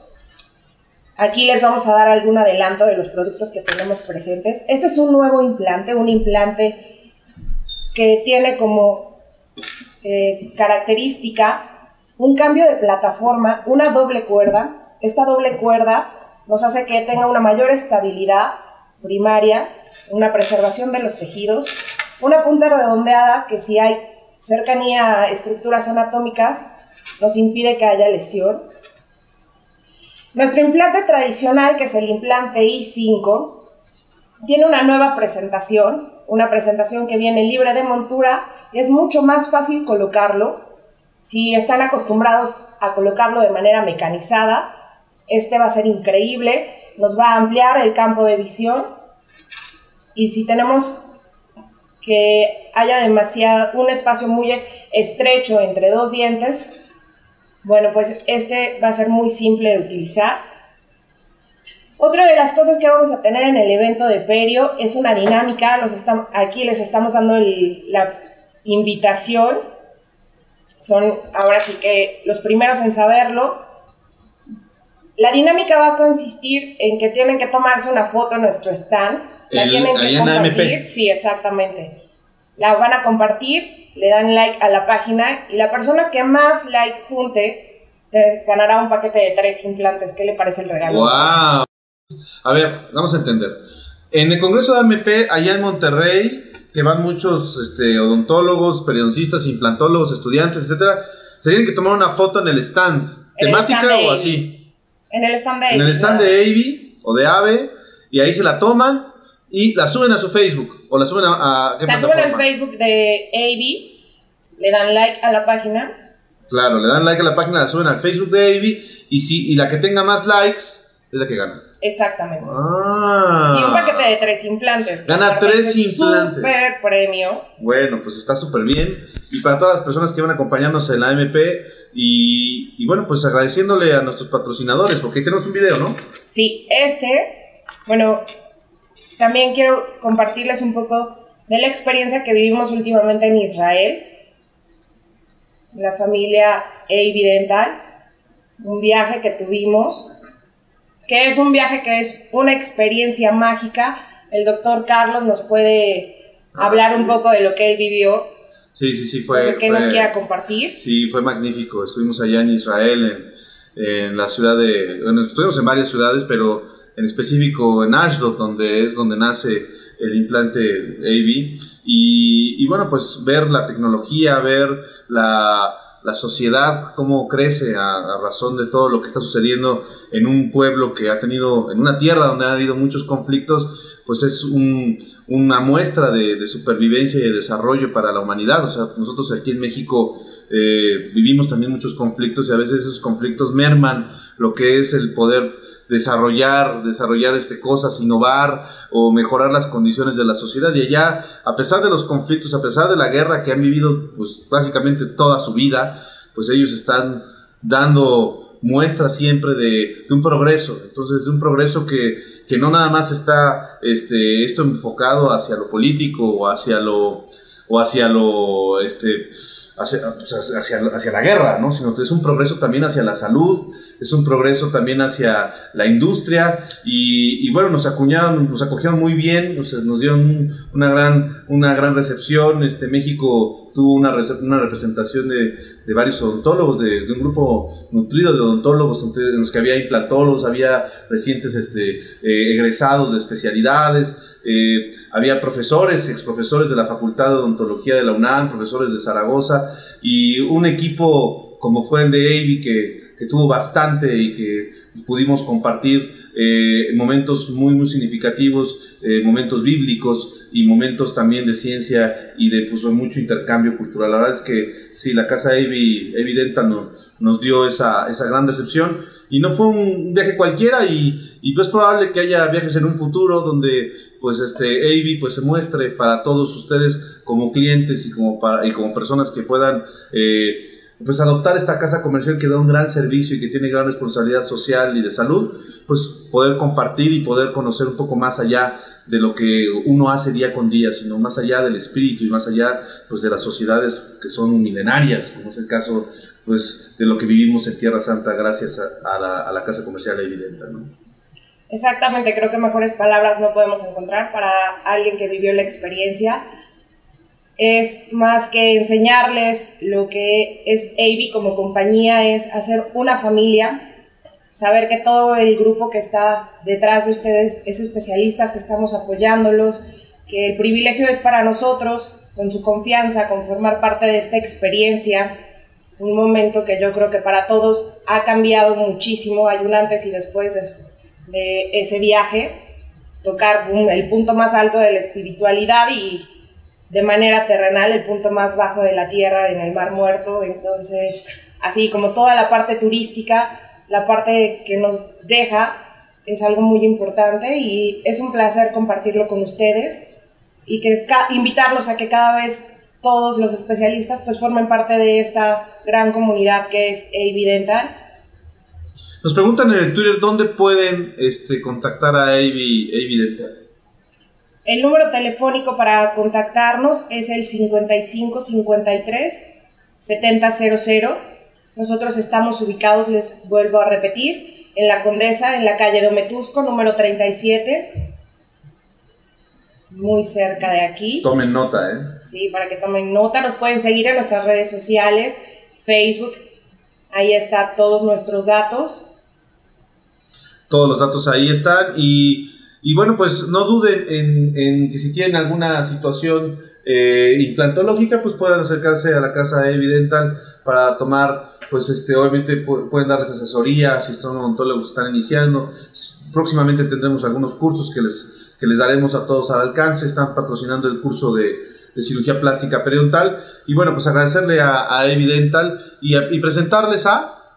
Les vamos a, bueno, preocupados le, estar preocupados por hacer la, la, diferencia en un mundo donde todo parece igual y no solamente por darle soluciones, ir más allá, y nos preocupamos esta vez por la salud de los especialistas. Entonces les vamos a presentar a la licenciada en fisioterapeuta y rehabilitación, Gabriela Portocarrero Pérez, que nos va a dar una explicación acerca de unas cualidades que tiene que hablar, que están muy, muy buenas. Mi nombre es Gabriela Portos Carrero, soy licenciada en fisioterapia y rehabilitación. Yo me incorporé a la empresa ayudándoles a tener una mejor ergonomía.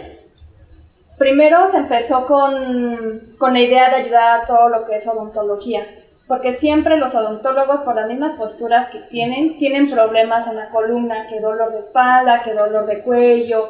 Entonces, siempre, aunque se vayan a tratar, regresan al trabajo y después de un tiempo regresan a las molestias. Entonces, nos hemos dado cuenta que realmente no es como la profesión lo que hace mal, sino la falta de, de esa higiene de postura. En México no tenemos esa, esa cultura de, de, cuidar nuestra postura, de cuidar cómo nos sentamos, de cuidar cómo, cómo nos levantamos o de nuestros movimientos. Entonces, se han hecho estudios y en, en México, por la misma falta de cultura que se tiene, de cada 10 personas, 8 sufren dolor de espalda. Y no nada más en lo que es este por estar sentado, sino es lo que digo, por los movimientos. Realmente, en este caso, que se está enfocando mucho a lo que es odontología, necesitan desplazarse en 360 grados en la clínica o en su consultorio al momento en que están con el paciente. Entonces, al momento de quererse mover de un lado a otro, esto, aparte de la postura que tienen al sentarse, no se mueven correctamente. También sabemos que las estadísticas lo que nos dice es de que lo que son los dolores de espalda es la segunda causa en, en, una consulta en ortopedia. Y ese también ocupa el tercer lugar en intervenciones quirúrgicas. A la vez es el quinto lugar en hospitalización en hospitales. Se hizo como un, un sondeo en lo que es la OMS y el IMSS la OMS nos dice que, 100 que se hacen 100 millones de incapacidades al año por cuestión de columna. Y el IMSS, 50% de su población es, son problemas de columna y el 30% causa una incapacidad laboral. Y normalmente son puros profesionales los que causan este tipo de, de los que sufren este tipo de lesiones. Aquí les estoy presentando el cómo es la curvatura normal de, que se debe de tener. Del lado derecho se ve como si fuera de, de adelante hacia atrás la columna. Se tiene que ver así. Esa es la manera correcta que se tiene que ver una radiografía. En ese mismo lado se ve como la, la, columna del lado izquierdo y se ve como una S. La S no está muy pronunciada, pero en los muñecos en donde están los perfiles, ahí son los problemas que se tiene mucho en lo que es odontología o cualquier otra profesión. La primer, el primer perfil ese es una escoliosis. La escoliosis se va a formar por la debilidad y por la debilidad que se tiene en ciertos músculos y porque unos están como jalando de más y la curvatura la perjudica. Entonces, al momento en que un odontólogo o algún profesional está en mala postura y aparte tiene esa debilidad, va a perjudicar más y es cuando empiezan los problemas de dolor de espalda. Hay muchas veces que llega hasta causar hernias y eso lleva a cirugía. La, la, siguiente imagen, que es la del medio, esa es una sifosis, es lo que nosotros le, bueno, lo que se le conoce como la joroba. Cuando se hace la joroba es también igual por la postura que se tiene. Al momento en que el odontólogo está con la unidad y su paciente se tiene que agachar un poco. Entonces, los asientos normalmente no dan como ese apoyo en lo que son las piernas, glúteos, lumbar, para poderte sostener en, en esa posición. Y el siguiente, el siguiente perfil que se ve es una hiperlordosis. Ese normalmente se le da mucho a las mujeres. Entonces, siendo mujer y aparte siendo este odontóloga y teniendo esa posición va a marcar más. Entonces, lo que nos van a ayudar las sillas que les voy a presentar es a evitar a llegar a esto. O si es que ya se tiene alguna lesión así, el evitar dolores. Entonces, para evitar esto hay que tener higiene postural, para no llegar a una cirugía o a, las terapias. Se compararon lo que recomiendan estudios de universidades de España y aquí en México. Como le estaba diciendo, IMSS es, un, es, es más del gobierno, pero es en donde más llega gente de personas profesionales que cuentan con el seguro y llegan a, al IMSS. Entonces el ¿Tú trabajas ahí? No. ¿No? No, no. Pero se, se, hizo un estudio sobre eso y el IMSS fue el que dio esos y datos. reportó eso. Él reportó eso. Entonces el IMSS dice que para tener una higiene postural se, ten, se deben de tener los pies apoyados, presión este, firme en la espalda y no usar sillones excesivamente blandos. Estos puntos los cumplen las sillas con las que se están trabajando. Y, y quiero interrumpirte aquí, doctora, este, porque Estamos hablando de unas sillas. La realidad es que, uh, estamos presentando algo que, o sea, porque no, no discúlpenme por esta falta de cortesía. Eh, en este momento estamos presentando un producto que está innovando en México, que son unas sillas posturales, porque la doctora está mencionando sillas, sillas, pero pues a lo mejor ustedes no saben qué sillas. ¿no? este, estamos presentando unas sillas y estamos haciendo también el compromiso para, en otro periodo MX, presentar muchísimo mejor este tema, porque este tema es para que seas nuestra invitada de lujo, no para que vengas así. Discúlpanos por, por traerte de esta manera, pero queremos darles una probadita de, y de la importancia para todos los odontonautas que nos siguen, de la importancia de la postura, la cual puede ser incentivada principalmente en el odontólogo con unas sillas ergonómicas que la doctora nos va a presentar, ¿verdad? Esto es una introducción, disculpen esta, esta cortesía, no, no, no acostumbro a hacer este tipo de cosas. y bueno, lo, las sillas que les estaba comentando cuentan con estos puntos. En, en una universidad de España igual menciona que la importancia es cumplir con estos puntos. Aquí lo que resalta a comparación del IMSS es un reposapiés que hace que las rodillas estén de 10 a 15 grados, a 0, de 0 a 15 grados.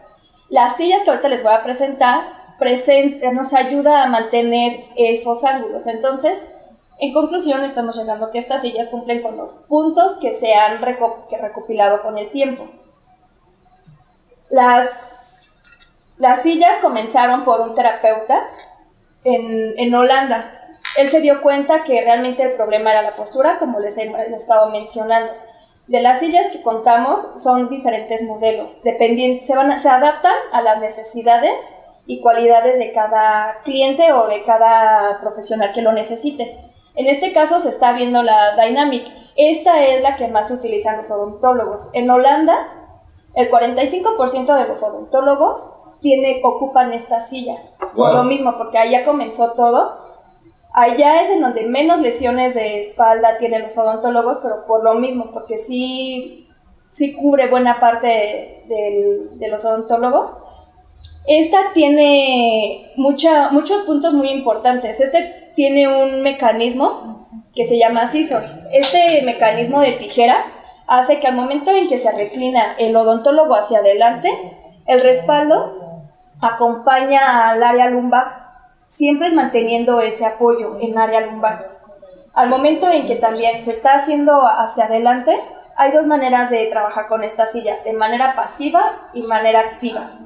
Pasiva nos estamos refiriendo que un agente extraño, ya sea en este caso el respaldo o persona, en sí está haciendo la función por nosotros. De manera activa es cuando nosotros solitos hacemos el movimiento sin ayuda de nada. Entonces, esta silla se puede hacer de las dos maneras, pasiva o activa. Pero en la, en la siguiente imagen, no, atrás, en la se ve una, se sacaron unas radiografías de un cliente utilizando de manera pasiva, activa el, el- la Dynamic. Ahí se ve. Ajá, exacto. En el número uno, esa es la radiografía del cliente usando la Dynamic de manera pasiva. Si se dan cuenta, el respaldo está totalmente apoyado al lumbar. Entonces, los discos intervertebrales están entre cada vértebra. Estos discos están teniendo su espacio tanto anterior y posterior, hacia adelante y hacia atrás. El- hay un espacio este, bastante bueno y realmente no hay alguna este, una curvatura inadecuada.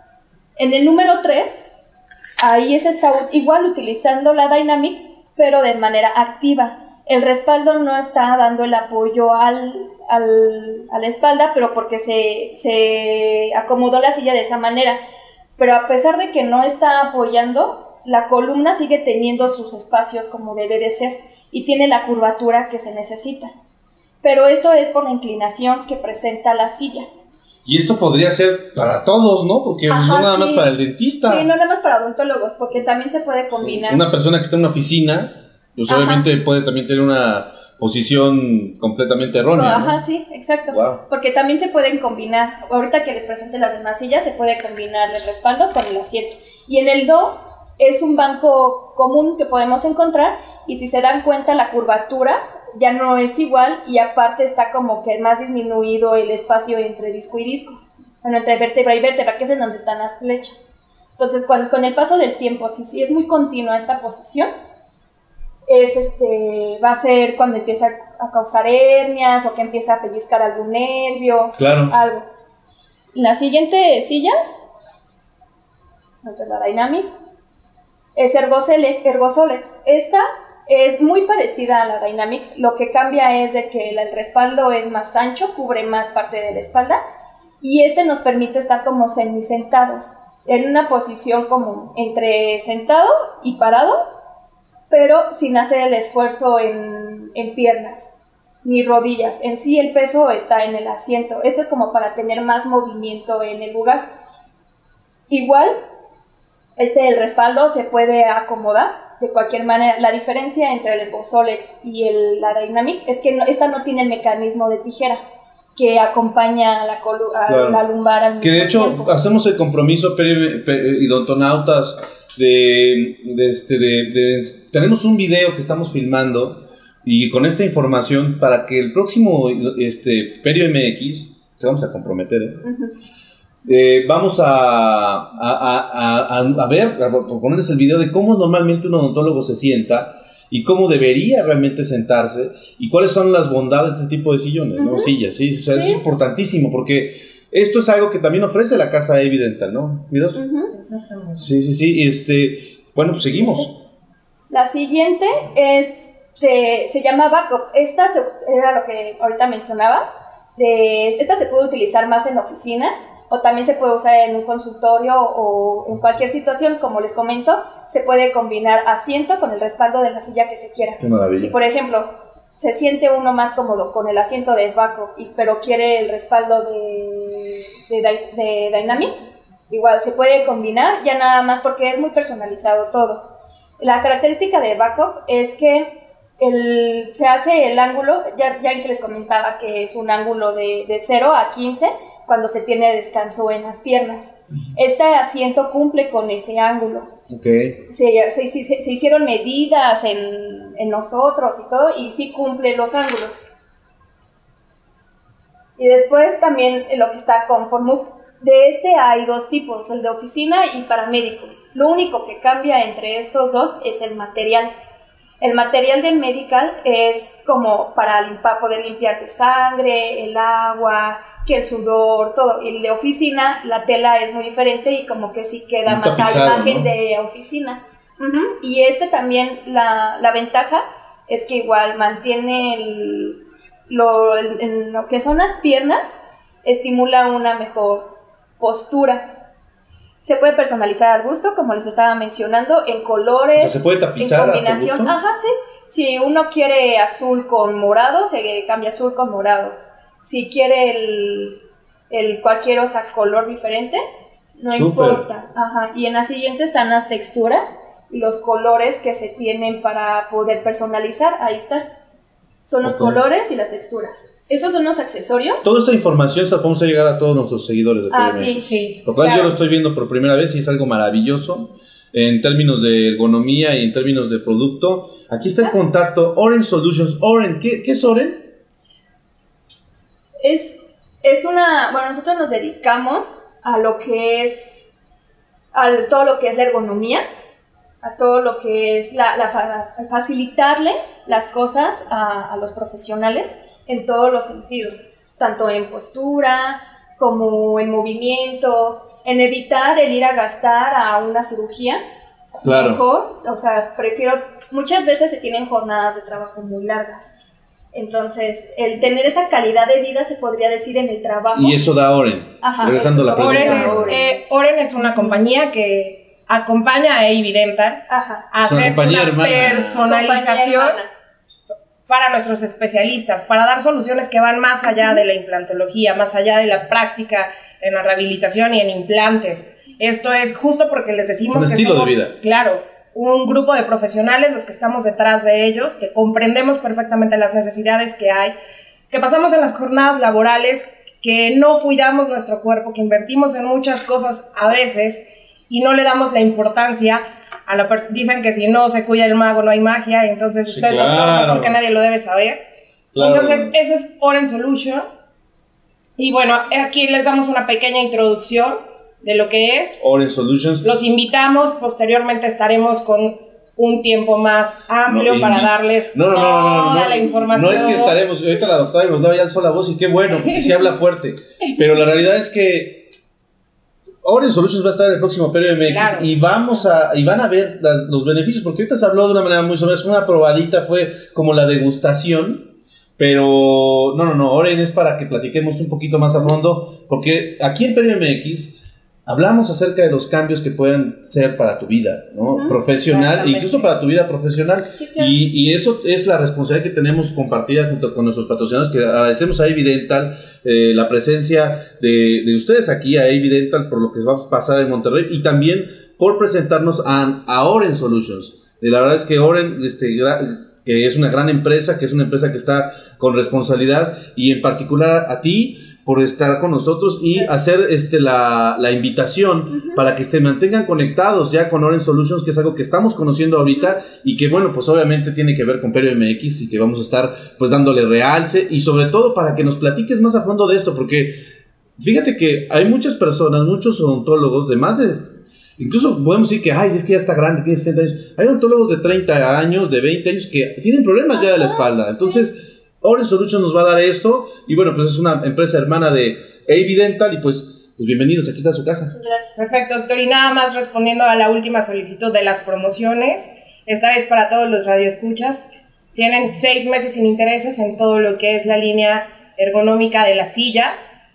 Si mencionan que nos escucharon en Perio MX, para Ah, poco. órale, tenemos más. Entonces, O sea que, a ver, esto lo vamos a postear ahorita. Las personas, porque bueno, las sillas están conociendo ahorita, pero bueno, las personas que quieran tener contacto con la silla y que quieran comprar una silla, bueno, pues vamos a, a subir el contacto de Oren Solutions, eh, que ya lo vieron hace un momento, que, está- que estuvo en pantalla. Pero aparte van a tener un descuento a todos los este, idontonautas, sobre todo en seis meses sin intereses. Seis meses sin intereses. Seis meses sin intereses, pero vamos a, a- a tenerlo un poquito más ampliado. No, no crean que nada más por el día de hoy, ¿verdad? No. No, o sea, pues muchísimas gracias, Miroslava. No, gracias, a ustedes. Muchas gracias. De hecho, también se, se les invita a, o sea, si quieren conocer más de las sillas, pueden visitarnos las instalaciones. Nos vamos a encargar de darle asesoría a cada uno de, para decirles qué silla les conviene, por la postura que tiene. Les vamos a enseñar a utilizarlo adecuadamente para que valga la pena el uso de estas sillas. Entonces, sin ningún problema se pueden hacer citas a partir de dentro de dos semanas, por lo mismo porque también se van a presentar, nos vamos a presentar en, en el Congreso.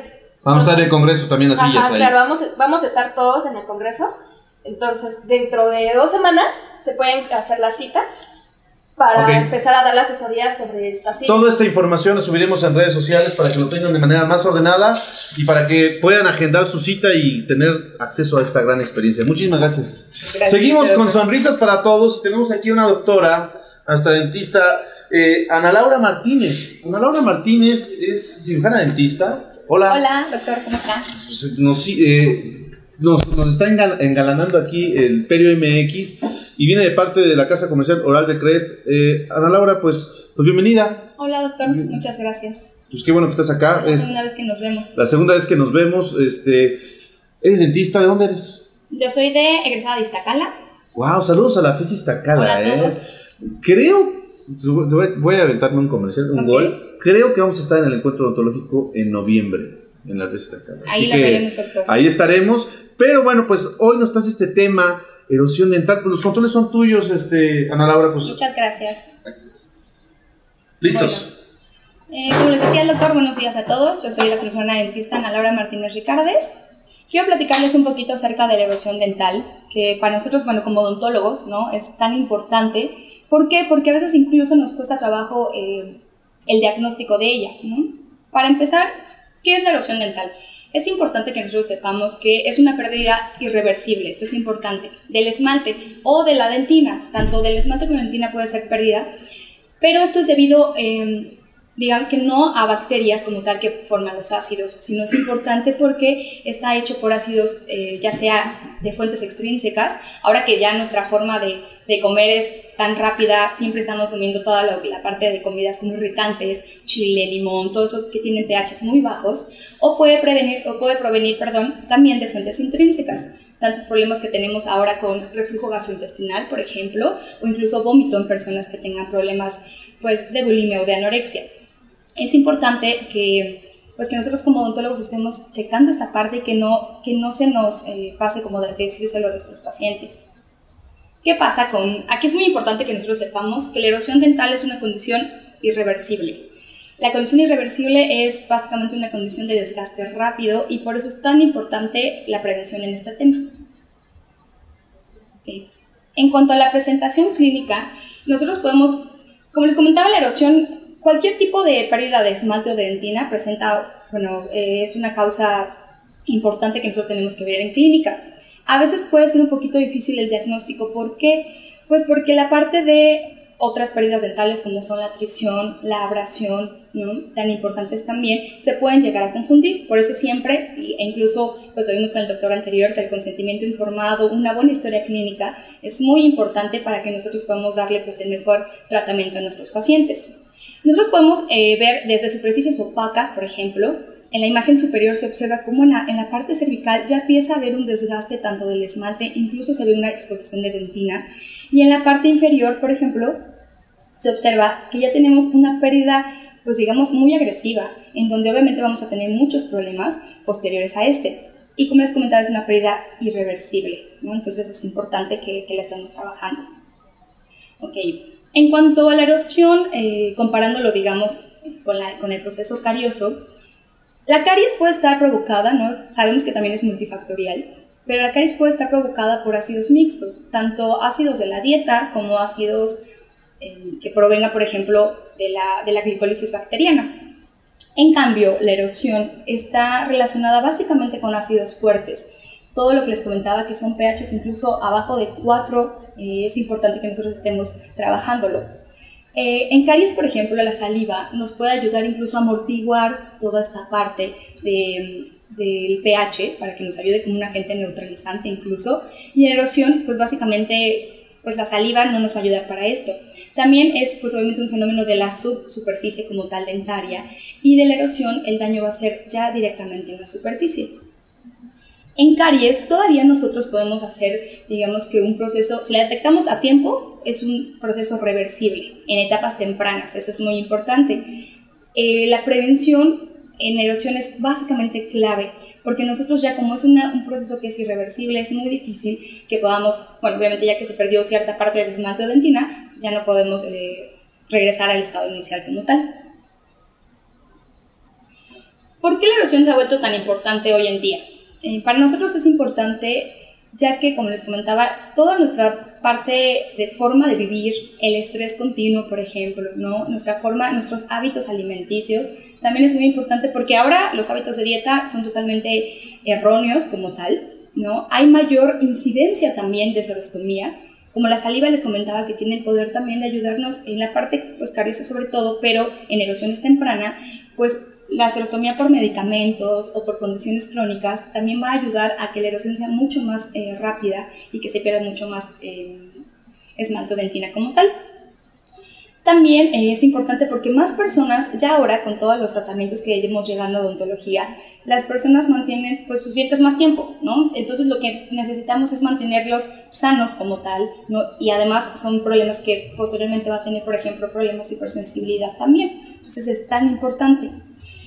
¿Qué también es importante? Los niños desde pequeños ya empiezan a, presentar problemas de erosión dental. Entonces es muy importante que nosotros sepamos cómo diagnosticarlo y obviamente, si tuvieron problemas de erosión en su, en, en su dentición temporal, es muy probable que tengamos problemas de erosión también, o problemas de caries, o todos los problemas que conocemos en niños, que tengan posteriormente en, en la dentición eh, permanente. Entonces, muy importado, es muy importante también por esto. Ok, el fluoruro, si bien sabemos eh, ya de años de investigación que nos mantiene para la remineralización del esmalte, por sí solo no es, digamos que una fuente suficiente para contrarrestar la parte de erosión dental. Eso es muy importante. Porque si bien pues el ion flúor sí nos da una parte neutralizante, remineralizante, no nos va a ayudar a pH debajo de 4 por, eh, normalmente, ¿no? El potencial de hidrógeno que tiene que ser de 4 tal vez nos podría ayudar, pero normalmente la erosión que es ácida está formada por ácidos muy fuertes, de 2, 1.5, el refresco de cola que tanto nos gusta, papás, por favor, a los niños, no les permitan utilizar este tipo de bebidas, es muy importante que nosotros sepamos cuándo eh, parar pues sus hábitos también que nos van a ayudar, bueno, que nos van a perjudicar realmente en toda esta parte de erosión y de otros, eh, otras patologías. Entonces nosotros sabemos que entonces el flúor como tal sí nos puede ayudar en ciertos casos, pero no es una solución efectiva, 100% efectiva. Aquí es muy importante lo que les quiero platicar, que una solución clínicamente comprobada es ya hay dentífricos perdón, que están hechos con fluoruro más el ion estaño estabilizado. El ion estaño nos va a dar una protección especial al esmalte y nos ha comprobado que realmente nos puede ayudar a la parte de los ácidos fuertes que nos están eh, provocando la erosión dental. Ok, el estaño, el estaño es un metal, ¿sí? Un metal que nosotros ya también en nuestras fórmulas de Oral B Crest tenemos estabilizado también para que no cause pigmentación. Si es una, seguramente es alguna de las preguntas que en algún momento como odontólogos nos, hacemos, como la plata y todo esto, no causa pigmentación dentaria, para nada. Está en el grupo 14 de, de, la tabla periódica, que realmente si ustedes observan, pues forma en el grupo de los carbonoideos, porque obviamente el carbono es pues, la base de este grupo. Em, el estaño es importante que ustedes sepan que tiene una acción bactericida y bacteriostático. Entonces, cuando nosotros en cavidad bucal normalmente tenemos una carga negativa, ¿por qué? La mucosa, por ejemplo, las membranas celulares tienen fosfolípidos que son, están cargados negativamente. Tiene también glicoproteínas que a la misma manera son eh, negativos e incluso las proteínas de la biopelícula también están cargadas negativamente. El estaño como tal es un cation divalente que también nos va a eh, ayudar como toda la parte de la, pues, del intercambio iónico que más adelante les platicaré. Eh, en un estudio hecho por el Dr. Ramji en el 2005 se observó cómo el estaño justamente se une a muchas de las superficies dentarias y que nos va a ayudar la parte eh, que demuestra alta sustantividad, va a durar más en boca. Si ustedes pueden observar aquí, se observó que Aquí tenemos una concentración mínima de inhibición metabólica en la glicólisis como tal. Entonces, esta es las horas después del tratamiento con, eh, con, pastas, por ejemplo, que tuvieran estaño. Entonces, ustedes pueden observar que incluso puede durar hasta 12 horas y se ha encontrado todavía el estaño en la placa como tal después de esto. También se observa, o bueno, se puede, se observó en este estudio, que entre más se utilicen pastas que contengan justamente el ion estaño, más, eh, va, más protección va a tener alrededor del esmalte como tal. Eso es muy importante. Bueno, pero ¿cuál es el mecanismo de acción del fluoruro más estaño, ¿no? que protege el esmalte contra la erosión? Básicamente, como les comentaba, de la parte de cation, que es el estaño, nos va a ayudar porque va a haber un intercambio iónico con el esmalte dental, en donde lo que va a hacer es formarnos primero que nada el eh, fluoruro estañoso. Posteriormente, el fluoruro estañoso se va a unir con los iones calcio y también con las sales de fosfatos y nos va a formar por último el fluorofosfato de, de, de estaño. ¿Qué nos va a pasar con esta parte? Que nos va a ayudar a inhibir sitios eh, de unión, por ejemplo, ácidos también que nos están provocando toda esta parte de erosión dental. Es muy importante que sepan que el, fluorofosfato de estaño es el que nos está cubriendo la parte del esmalte. Ahora, como un, rápido resumen para que ustedes estemos como conectados y no se me pierdan en esto, el fluoruro de estaño provee un mecanismo único eh, contra otros fluoruros, digamos, para formar una barrera como tal. Y la capa protectora puede estar incluso hasta 12 horas manteniéndose a lo largo de, pues, del esmalte dental como tal. Ok, el estaño, el estaño es el ingrediente único de Crespro Salud Multiprotección. El estaño se fija al esmalte dentario y lo que nos ayuda a defender contra la erosión irreversible del esmalte causado por los ácidos de la dieta. ¿Qué tiene de protección nuestra pasta Crespo Salud Multiprotección con azúcar? Tiene doble protección. Uno, que previene, ayuda a defender contra la formación de ácidos bacterianos por la parte bactericida y bacteriostática que tiene y nos va a ayudar también a defender eh, contra la erosión del esmalte causado por los ácidos de la dieta. Como les comentaba, seguramente ustedes ya conocen nuestra pasta, eh, seguramente incluso lo tienen en sus consultorios y les agradecemos también eh, la parte del uso y recomendación de ella. Esta pase, aparte de la doble protección, nos va a ayudar a proteger todas las áreas. Pues ustedes no necesitarían, digamos, recetar otra pasta dental porque nos va a ayudar contra la erosión del esmalte, incluso disminuye sitios de sangrados también. Placa eh, tiene, por ejemplo, un ingrediente especial que es un ácido fítico, que es que el anticalcio nos va a ayudar a que eh, evitar que se forme nueva placa dentobacteriana también y nuevo cálculo como tal. En cuestión también nos ayuda obviamente al mal olor por el, sabor que tiene de menta y la parte de... Eh, de manchas extrínsecas como tal. Aquí es importante que nosotros sepamos que si bien muchas pastas dentales tienen flúor y como le comentaba que ayudaba en la parte neutralizante, se observó en un estudio hecho eh, y publicado en el Journal of Dental Research en el 2010, se observó cómo eh, la pérdida de superficie dentaria no dependía de la cantidad de porcentajes por millón, bueno, de partes por millón de flúor. Si ustedes observan aquí, eh, por ejemplo, aquí se está comparando con eh, pastas de 1100 partes por millón, incluso de 5000 partes por millón, y la pérdida de superficie del esmalte realmente fue menor eh, utilizando una pasta que contuviera no solamente eh, sino que tuviera también el estaño estabilizado. Y como tal, pues podemos saber que el fluoruro ni el monofosfato de sodio, que es algún otro activo que tienen algunas otras pastas, ofrecen el nivel antierosión que ofrece pues el fluoruro y el estaño estabilizado. Esto prueba que el beneficio realmente contra la erosión dental nos, está ya, nos los está dando particularmente el estaño y es el ingrediente exclusivo, de hecho es el ingrediente que nosotros hace tiempo manejamos con eh, la línea ProSalud, que es muy importante. Aquí también cabe mencionar la erosión dental viene básicamente acompañada de qué? De hipersensibilidad dental. ¿Cuántos pacientes en su consulta no tienen erosión, aunado obviamente a, hipersensibilidad como tal? Entonces es muy importante que la hipersensibilidad dental, pues hablemos de beneficios que también tiene eh, nuestra pasta, por ejemplo, que es ProSalud Sin Alivio, nos, ayudándonos primero contra la erosión dental también y eh, a reducir justamente la hipersensibilidad dental como tal. Dos causas potenciales de tener hipersensibilidad es justamente recesión gingival, que es pues, básicamente la, la enfermedad periodontal, sabemos que es pues, la número dos realmente en las patologías en boca, y la erosión causada por reflujo ácido. Incluso la erosión dental, si ustedes eh, llegan a observar a su paciente, que les digo que a veces es un, poco difícil como el diagnóstico, en las partes palatinas de los, de los dientes superiores anteriores es donde se observa más la parte de erosión y sobre todo también en los molares inferiores, donde se empieza a ver también el desgaste por la parte de erosión. Entonces, eh, pues obviamente la dentina expuesta a lo largo de la línea, eh, ya sea por gingivitis o por cepillado muy agresivo, pues nos va a dar pues, toda esta parte de hipersensibilidad. Aquí es muy importante quiero mencionarles que también es eh, uno de los tratamientos importantes para la erosión, es uno, saberlo diagnosticar para disminuir el contacto directo o indirecto con ácidos, y dos, es muy importante utilizar un cepillo de cerdas suaves también para pacientes que tengan erosión ácida. Van a, bueno, obviamente van a, eh, digamos que inhibir, ¿no? que se esté formando más la, parte de erosión. Bueno, entonces, cuando nosotros hablamos de beneficios de pastas eh, con una química basada en el estaño y en el flúor, también estamos hablando de Prosolid alivio, como les comentaba, que uno provee alivio inmediato, de larga duración, este ya no solamente va a ser 12 horas, sino por su mayor porcentaje de gluconato nos va a mantener, digamos, potencializado el estaño. Entonces va a obliterar mucho más rápido los túbulos centinarios y los va a obliterar de una manera, digamos, este, más adecuada.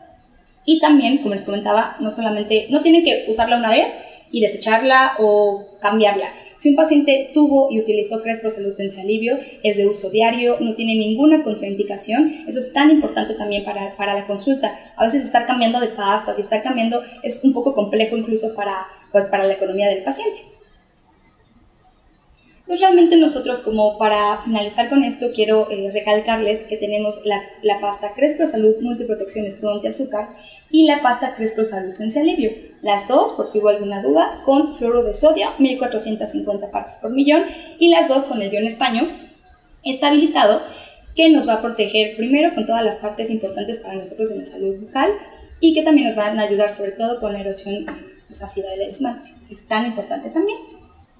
Y pues bueno, nada más quiero agradecerles también eh, su, su, tiempo, cualquier cosa. Eh, estamos en contacto, doctor. Claro que sí. Yo, es que es como cuando voy a visitar a los odontólogos, les doy mi tarjeta, doctor. Perfecto, pues gracias. Agradecemos a la Casa Comercial Oral de Crest, eh, de Procter Gamble y a Evidental por, por haber auspiciado este Perio MX 2 de la temporada 2. Y bueno, gracias a todos por sus comentarios. Y sí, ya estamos tomando nota para que sea el Perio MX más dinámico, que sea muchísimo mejor. Y les agradecemos porque hoy tuvimos una gran, gran asistencia de todos ustedes. Y bueno, nos vemos el próximo mes en Perio MX número 3. Muchísimas gracias por su preferencia. Gracias Inteligencia Dental. Hasta la próxima.